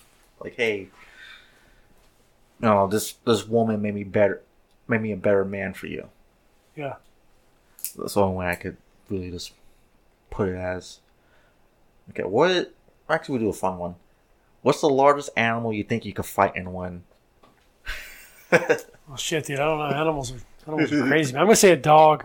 I'm gonna draw the line at a dog because, like, the reality of having something some some bad encounter with a dog in law enforcement is pretty pretty good. Well- and and like, dude, I, I think about it all the time, man. I'm like, I do not want to have to fucking shoot a dog, man. Me and me and my rookie last week, we wrote a call where this dog was like attacking this dude. You know, it was an animal complaint call, and we went over there, and I was like, I fucking hope we don't have to shoot a dog, man, because people like shoot a person, they're like, uh, you know, you shoot a dog or a dog gets hurt, they're like, oh my god, you know, you shot this fucking dog, right? Like people put they heap this this expectation on dogs, you know. I don't know. They hold ho- dogs on a higher level than than people. I'm not one of those. I'm not one of those people. I'm not a dog person. I get it. I empathize, but I'm not. I'm not there with you. I say a dog, man. I, I went to a call yesterday or day before, man. Mm-hmm. I'm, I'm, I'm like knocking on the gate and like rattling it before I open it, and the dude that was on the call with me, he's like, "Dude, what are you doing?" I was like, "I'm making sure there's not a fucking dog in this backyard, dude." He said, "What are you talking about?" I was like, "One, I don't want to get my ass eaten by some you know big ass Rottweiler." I was like, "Two, I don't want to have to shoot somebody's dog."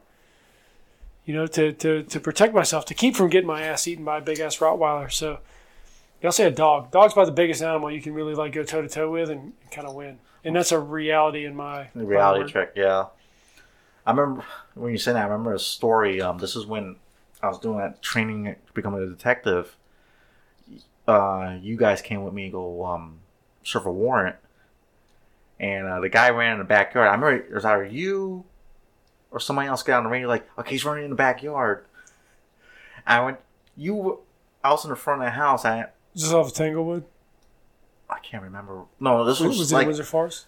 this was in precinct five. We had to go to precinct five Oh, for it. shit. I was about to say. Uh, we you uh you started running in the backyard. I was following behind you. I was in my my dress clothes. You were in uh, the CSU uniform, and you just turn around like fuck it, dog. there was a group of dogs Oh, in the oh, man. backyard. I jumped the fence into, with the dogs. The dogs just looked at me like, "What the fuck is this guy doing?" I think I think I remember some, some, some vague pieces of that now that you bring it up. That's funny, man. Yeah, dogs, dude. I, and it's not, You're it's, like, it's, not that I'm, it's not that I'm scared. It's not that I'm, I'm scared of dogs. Like I, I respect dogs and what dogs can do. But they're anybody that, anybody that thinks that I used to have a German Shepherd. He's about ninety pounds. Um, anybody that thinks that that dog won't won't fucking kill you is wrong. Because he can. He's got the tools. Mm-hmm. I watch. I've, I've, I've been part of, and I've seen plenty of canine apprehensions Mm. to see what a 60 pound Malinois can do to somebody. Like a dog will fucking ruin you. Um, but the biggest thing is I don't want to have to shoot somebody's dog, man. I don't want to put myself in. I don't want to. I don't want to put myself in a position where I feel that I need to shoot somebody's dog or shoot a dog when I could have avoided that situation. So I'm cautious about backyards and dogs for that reason. Because people are, I mean, dude, Well, I'm with it, man. If I had a, if my, my, my shepherd, Mhm. if some cop would have jumped my backyard and my shepherd would have, you know, put the fear of God in his ass, you know, and he, he shot my shepherd, I'd have been It's like another. right with him. I'd have been mad, man. Like, that's part of family. It's like another child. yeah, man. I, I use Gus, the, my shepherd, as a reference, man. I've had other dogs. Gus was the most significant. It's a good dog. Well, dogs. The thing is, about dogs. They were raised rem- with us since we um since we left the cave. Yep. Basically, since we left the cave, dogs have been with us, and uh, They're one of the only animals that looks us in the eye too. If Oh. not, if not the only animal that looks us in the There's, eye. there's another thing they do that no other animal can will do. Only humans and dogs. If you point at something, the dog will look look at at, yeah, to look at. Yeah, they look at. They also, and they also have like even a. apes do that. They also have like a left eye gaze or whatever. Like people identify with each other's. I saw this on a fucking YouTube video. So this might be total bullshit. People gaze to like the left eye. The Mm-hmm. left eye is what you usually focus on. And dogs will look at a picture and then like look at the left eye. Like it's it's what they do. Mm-hmm. It's weird, man. And they look at they look at people's left eye. I gotta look that up because that's I didn't I didn't know about that. That's I actually pretty I saw on interesting. YouTube video or Discovery Channel video. Look it up. Yeah, better be Discovery. that's some that's some guy in a. Discovery's fallen off lately, man, with that Shark Week bullshit, dude. They got all this clickbait, crazy videos they're doing now. It's like not even real, not even real shit anymore. It's all bogus. Yeah, that's uh stuff like Netflix and HBO and Hulu and shit is putting putting them out of business. Oh too. hell yeah! Okay, what is what was the most terrifying moment in your life? I don't know, man. Terrifying. Terrifying's weird. This is a weird thing to talk about because, like, for example, Afghanistan. Mhm. So I got to Afghanistan, scared shitless. Nobody wants to admit it. Scared out of my fucking mind. Like I'm gonna die. Part of my motivation to get married before I went to Afghanistan as a 20 year old man was I'm going to go to Afghanistan and die, and I don't want to die having never been married. Let me get married now. Yeah. That's that's no shit. One of the major reasons I got married. Um. So, over there was like a fear deferment kind of thing. So we deal with like terrifying shit all the time. Rocket attacks, uh, BRP, you know, take RPGs, hit with IEDs, uh, take direct fire, you know, small arms fire uh, from from enemy or whatever. It's terrifying stuff, man. But it was like a fear deferment kind of thing. Like I deferred all that fear t- after I got back. So after you get back and shit starts winding down, that's when you're like, "Fuck, dude! Like I almost died a bunch of times." You know, that's when it starts to bother you. That's when it starts to keep you awake at night and stuff. Mhm. Or me, I say you, me, making this impersonal. Um, that's when it started to keep me awake at night.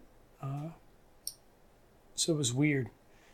Here in, in police work, it's strange because you wake up and you see your family, and then then you go to work, and then some shit happens, that foot pursuit, and then you backtrack and you find that gun that that guy elected to throw down instead of use against you, or maybe you're fighting a guy, wrestling with him, you get him in handcuffs, and then you find out that what he was reaching for in front of him was a gun in his waistband that he wanted to use. And then after the adrenaline wears off, all that other stuff, you you get done with doing your reports, you go home, you see your family, your wife wants to know why you're home late, you know, like no, I wasn't at my girlfriend's house. I was fucking busy at work, you know. And you sit there, you try to play it cool, eat supper, and you go to sleep, and then you think about like shit, man. Like that was that was pretty close. And then you wake up and you go to work again. So it's kind of weird. You don't get to get sucked into that environment to where you just defer it, to where you accept your mortality. Mhm. You're just there. You're in it. You got to go back and forth between extremes. So as far as work's concerned, plenty of times, countless times I've been scared. People don't like to use the S word, but fear's real. It needs to be felt. If you don't feel fear, or you're trying to act hard, one, you're either you're either posturing, or two, you're complacent and you're you're really running the risk of getting fucking killed. Um, but as far as just like fear, like shit that I hate on myself, like like getting tased. I was- yeah, when I was getting taser certified, man, like I had like a bad reaction. That I was a total pussy, man. I, was, I was soft as fuck. She scared the hell out of me, man. I did not want to get tased. Uh, heights, heights scare the shit out of me. Yeah, The older I get, the more afraid of heights I am. Terrified of heights.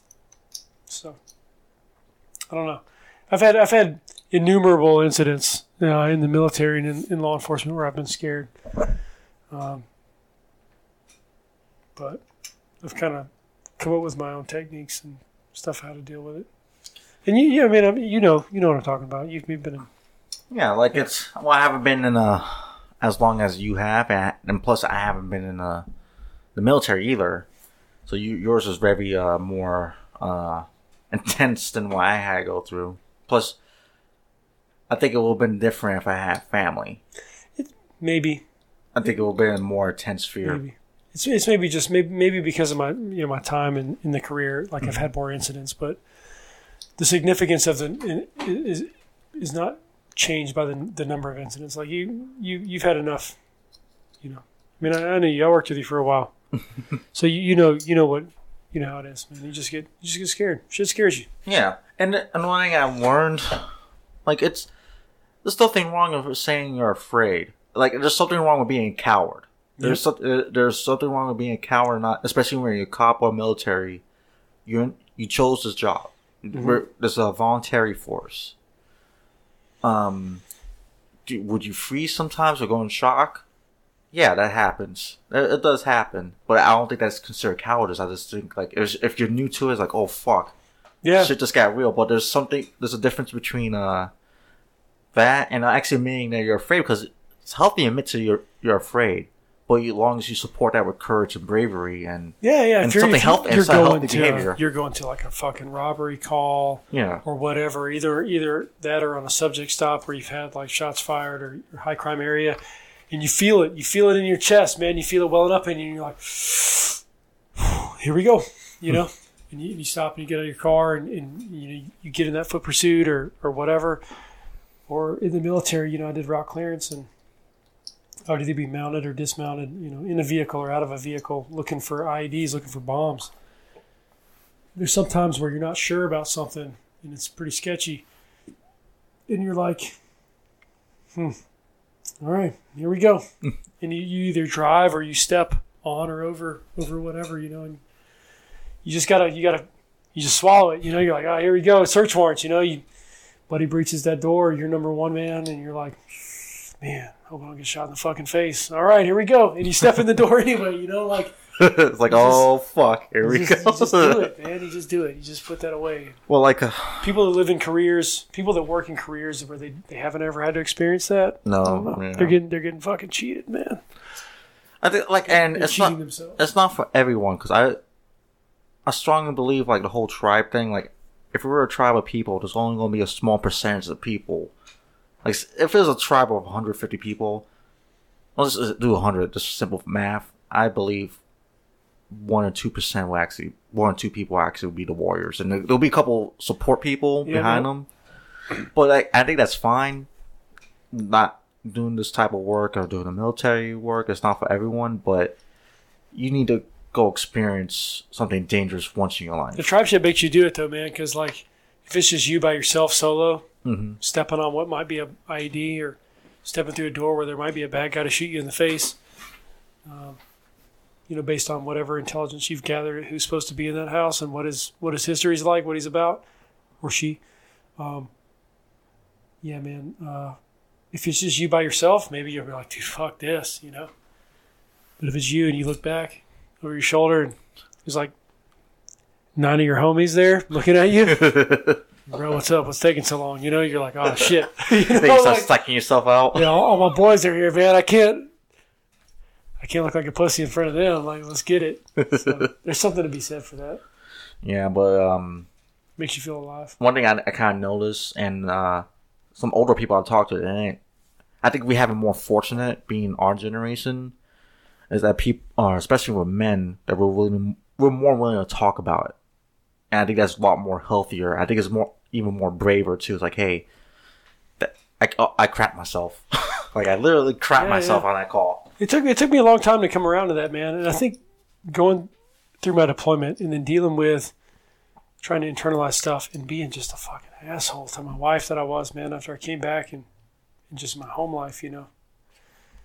Um, I learned some lessons from that to now with the police department and, and doing stuff that I do in police work. I'm, I'm more apt to talk about it and verbalize it than I was.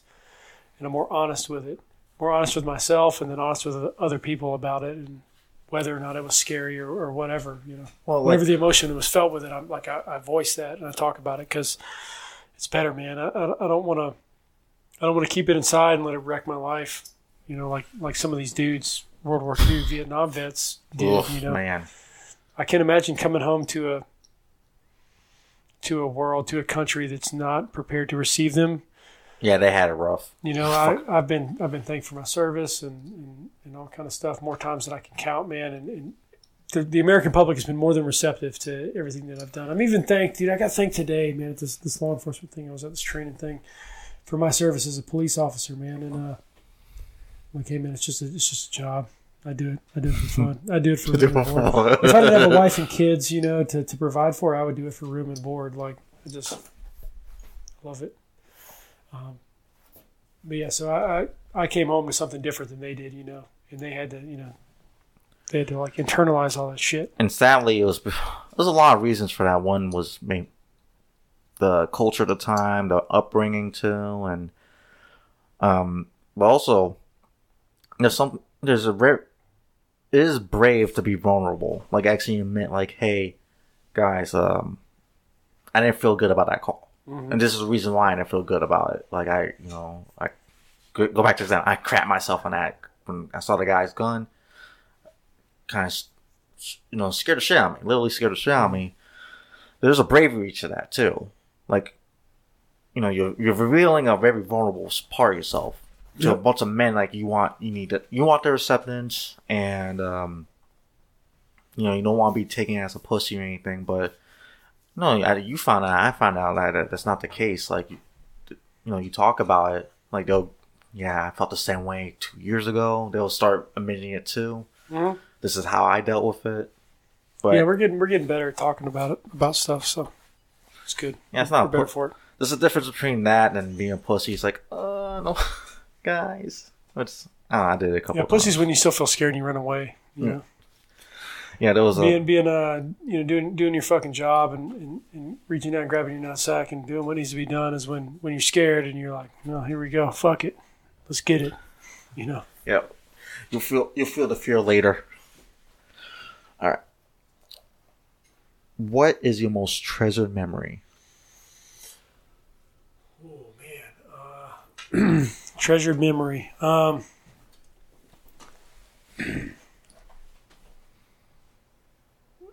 unfortunately, because of the events that surrounded it and emotions and all this other shit, like the the birth of my first child is not quite as vivid as the birth of my second for me. Mhm. So I'll say the uh, my most treasured is probably the the birth of my second child, just because. What happened with the first? No, the, the, the first was there, but just like I, I don't I don't remember it as much, right? So I wasn't already a parent, Uh-huh. so I didn't already know what it meant to be a parent, and, and I didn't understand the significance or the gravity of having a child born and what that meant. My, my second daughter, I knew, you know, I knew from the first one, and uh, and so maybe I was more attentive. Uh, yeah, the, the the birth of my second child that's vivid. Hmm. It's vivid for me. So, and both both went off without a hitch. You know, no complications Oh, or whatever. You know, they're they're both healthy kids. They still are. Um,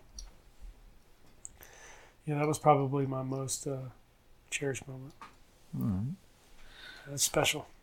Uh, ho- hopefully, one day I get to feel that. Oh yeah, it's good, man. It, it, it'll change your life. All right. Um, was the biggest biggest sacrifice you made?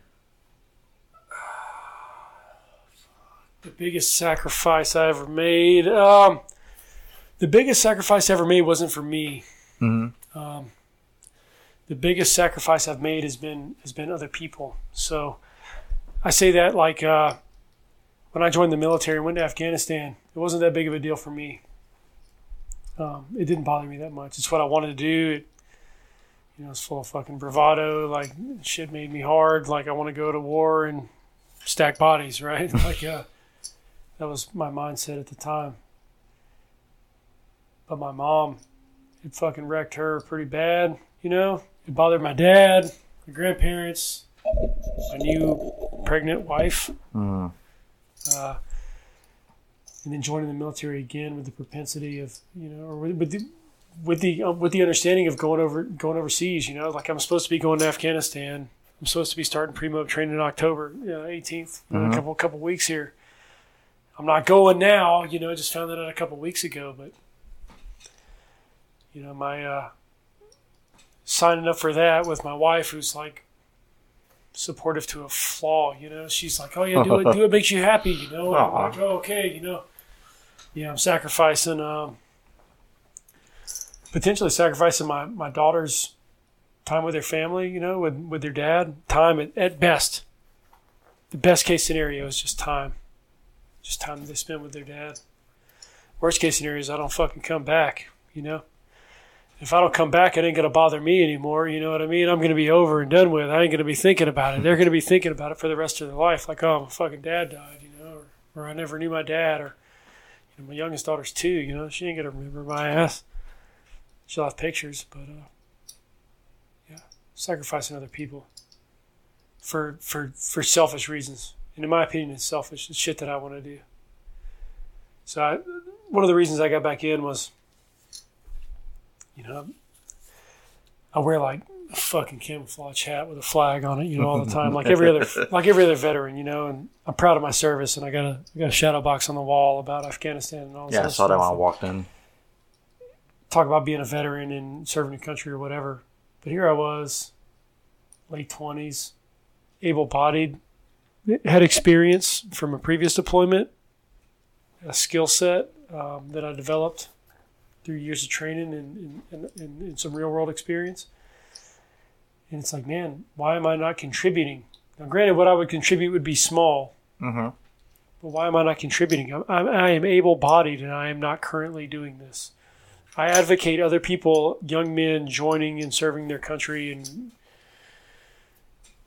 and stuff, but I'm sitting here resting on my fucking laurels, not doing it. You know, like that's bullshit. So, I think uh, I think, I think my wife's coming in the door. Yeah, I can hear. her. I can hear it in the mics. I can I think, hear uh. It's okay. We're, we're almost done. Yeah, yeah, that's cool. Actually, we're, next one will be the last question. That was one of the reasons I joined. Was um, I felt like I wasn't doing enough. Like I didn't do enough. So. Oh, look, the little girls. All right, this is the last question, and this is a question I asked everyone. I'll wait till the your wife and the kids go upstairs. Yeah, yeah. Okay. I'll, I'll bring them back down to introduce them to you. Yeah, that's fine. I'm not, I don't want them to listen to this question yet, but um, what's the worst thing you've ever done, and what's the best thing you've ever done?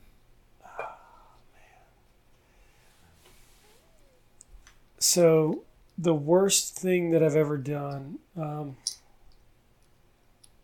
this is gonna sound stupid and like it's not gonna make sense, but uh, there's there's a reason for it. Sh- the shit that I did that I've done that, that bothers me, and and maybe it's not gonna bother other people or members of your audience, or Mhm. you won't understand.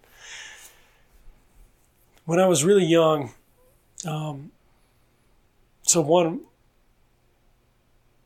when I was really, really young. My parents were divorced, I think, at the time. So my parents divorced and then remarried each other Hmm. um, after I was born. They got pregnant with me when they were in high school. I was born when my parents were 18. Oh, okay. They divorced and they remarried. But anyway, my dad worked, uh, excuse me, my dad worked uh, for like this John Deere tractor commercial tractor company thing or whatever. And I was really young. My mom brought me there. They had like a family day at work or whatever. And I was, dude, I'm, I'm fucking young, man. I'm like four. I can barely remember this. And uh, I remember my dad sitting in the skidder. So this is this logging tractor, that uh, this cool ass tractor. He was like waving me over. You know, he wanted me to come up there. He's going to drive me around this fucking tractor.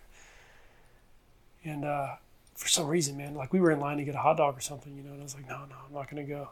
And I didn't go. And like to this day, man, I'm I'm fucking I'm a grown ass man.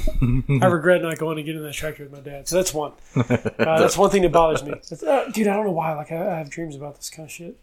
Um, another one, man. Me and my uncle. I've got an uncle that's 18 months older than I am. He and I grew up like brothers. He's Mhm. also in law enforcement.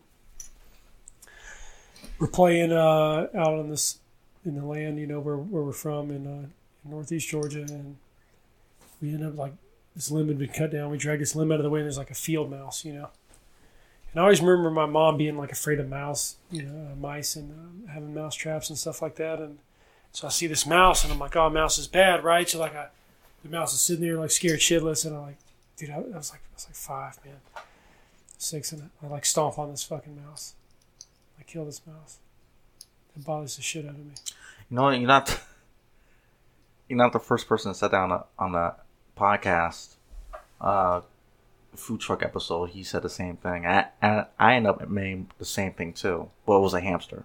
Really, Baby, baby Dude, hamster. It fucking dude that, that It- bothers it the fu- shit out yeah, of it me, fucks man. me up. That fucks me up. And, uh, and to the same to the same token, not something I feel bad about. The worst thing I ever did, right? Um, like I remember same same house, my grandparents' house. This uh, where they had a cat. You know, this cat that lived outside. And this cat had uh, this cat had um, grabbed this mole. You know, this uh, mole that was digging up the yard. hmm And he kind of played with it and hurt it or whatever, and the thing was still alive. So like I like euthanized it with a BB gun. hmm Dude, I'm like six years old when I did this, you know. That that fucking bothers me thinking about that thought. But I've, I've euthanized a lot of animals. My grandfather took me to put down a dog when I was like eight. First dog I ever put. Like I've euthanized a lot of animals. Kind of kind of traumatized my youth. But uh, dude, I'm serious, man. I'm not saying like I haven't done other stuff that's wrong, and other stuff that's bad. But uh, yeah, stomping on that mouse, dude. That, that bothers me. And what's the best thing you've ever done? Man, the best thing I've ever done. I don't like to think about that because, right? I don't typically think that way because I don't like to Well, something that. toot, toot my own horn, you know. But um, mm-hmm. best thing I've ever done, and this is turning it back to like a selfish kind of thing, I guess, is just being a dad, man. To these these two little girls who just walked upstairs. That's the best thing I've ever done as far as what's made me the happiest and given me the most drive and purpose and steer my life and change my priorities from me to them is, yeah, being a dad, having little girls. It's the best. It's the best shit that ever happened to me. Yeah, that's one thing. Uh, one thing I'm looking forward to. Like, I want to have daughters. It's cool, man. I thought I wanted a little boy, real bad. You know, Mhm. every dude wants a little boy. I had a little, had a little girl first, and then when my wife was pregnant the second time, um, and my daughters are seven and, and two, and uh, she got pregnant the second time. I like everybody's like, "Oh, I know you want a little boy." I'm like, "No, I don't, man. I wanted a little girl." like, like Sayla's awesome. I want a, I want a second daughter. So, daughters. The, fir- the first one was awesome. Let's do Yeah, second daughter, one. daughters are where it's at, and they're so different, man. They're so different, but they're their own little people. They're cool. They're cool. I love them. All right. Well, I want to thank you for doing the episode. That was great, man. This is fun, dude. I, That was great, I like, man. I like listening to your podcast, and uh, it's neat that you know working together and stuff, and then coming back and doing this. And yeah. I haven't seen you in like Well, I thought I was going to. five years, I four thought, years. I thought I was going to see you at Diane's um, going away or retirement party. I went yeah, that. man. I was at uh, dude. I was in. I don't know if I was at bomb. I was in school to be a bomb tech or Oh, what, okay. man. I, I was I was doing something. I was away at training. No, when did she leave? See, It was last. It was last year. no, was it last year? Okay, yeah, it was after. yeah. It was Summer after. Pe- fall. it was after Peplo's Peplo's wedding. It was last year. I think it was at mom training, where I was in a military school. I was at something, but I couldn't be there. I was pissed. When was it? Oh, wait, wait, yeah, I was, I was hoping to see you. Uh, got to see everyone, everyone else there. Yeah, I'm gonna. I got. I got to holler at Mason. I was texting him earlier today. I got to tell him uh, I was on your podcast. Fucking ham. oh man, I miss that guy. yeah, he's good. He's good people, man. I still laugh at. um I'm not sure if you remember that story during Christmas. Um, the Jordans or something happened, and he got pepper sprayed by accident. Yeah, dude. I remember I'm that. still laugh. I'm still laughing Yeah, about that. man. Everybody was trying to bud break into the mall because they were releasing like some Jordan, you know, re-release or whatever, and uh, he was there at the at the front of the door trying to keep all the the people from busting in the door. And mall security guy like stuck this pepper spray out and just started pepper spraying the crowd at random. But Ham caught like ninety percent of it in the face. Freaking Ham, and-. Ham and uh, O'Brien, O'Brien caught a bunch. All right. Well, stuff. all right, guys. Um, thank you, Andrew, for letting me come back to Savannah and do this in your house. It was nice. Uh, if you guys want to check out any other episodes, it's for free on any, actually, most distributors, podcast dis- distributors. If you can't find it on your distributor, go to the website, ataboolife.com, where you can download it for free there. Also, there's other episodes, some fun articles, short stories, and poems because I am that sappy. So come check out the website, ataboolife.com. Thanks again, Andrew, and uh, Yeah, man. Anytime. you guys have a great week.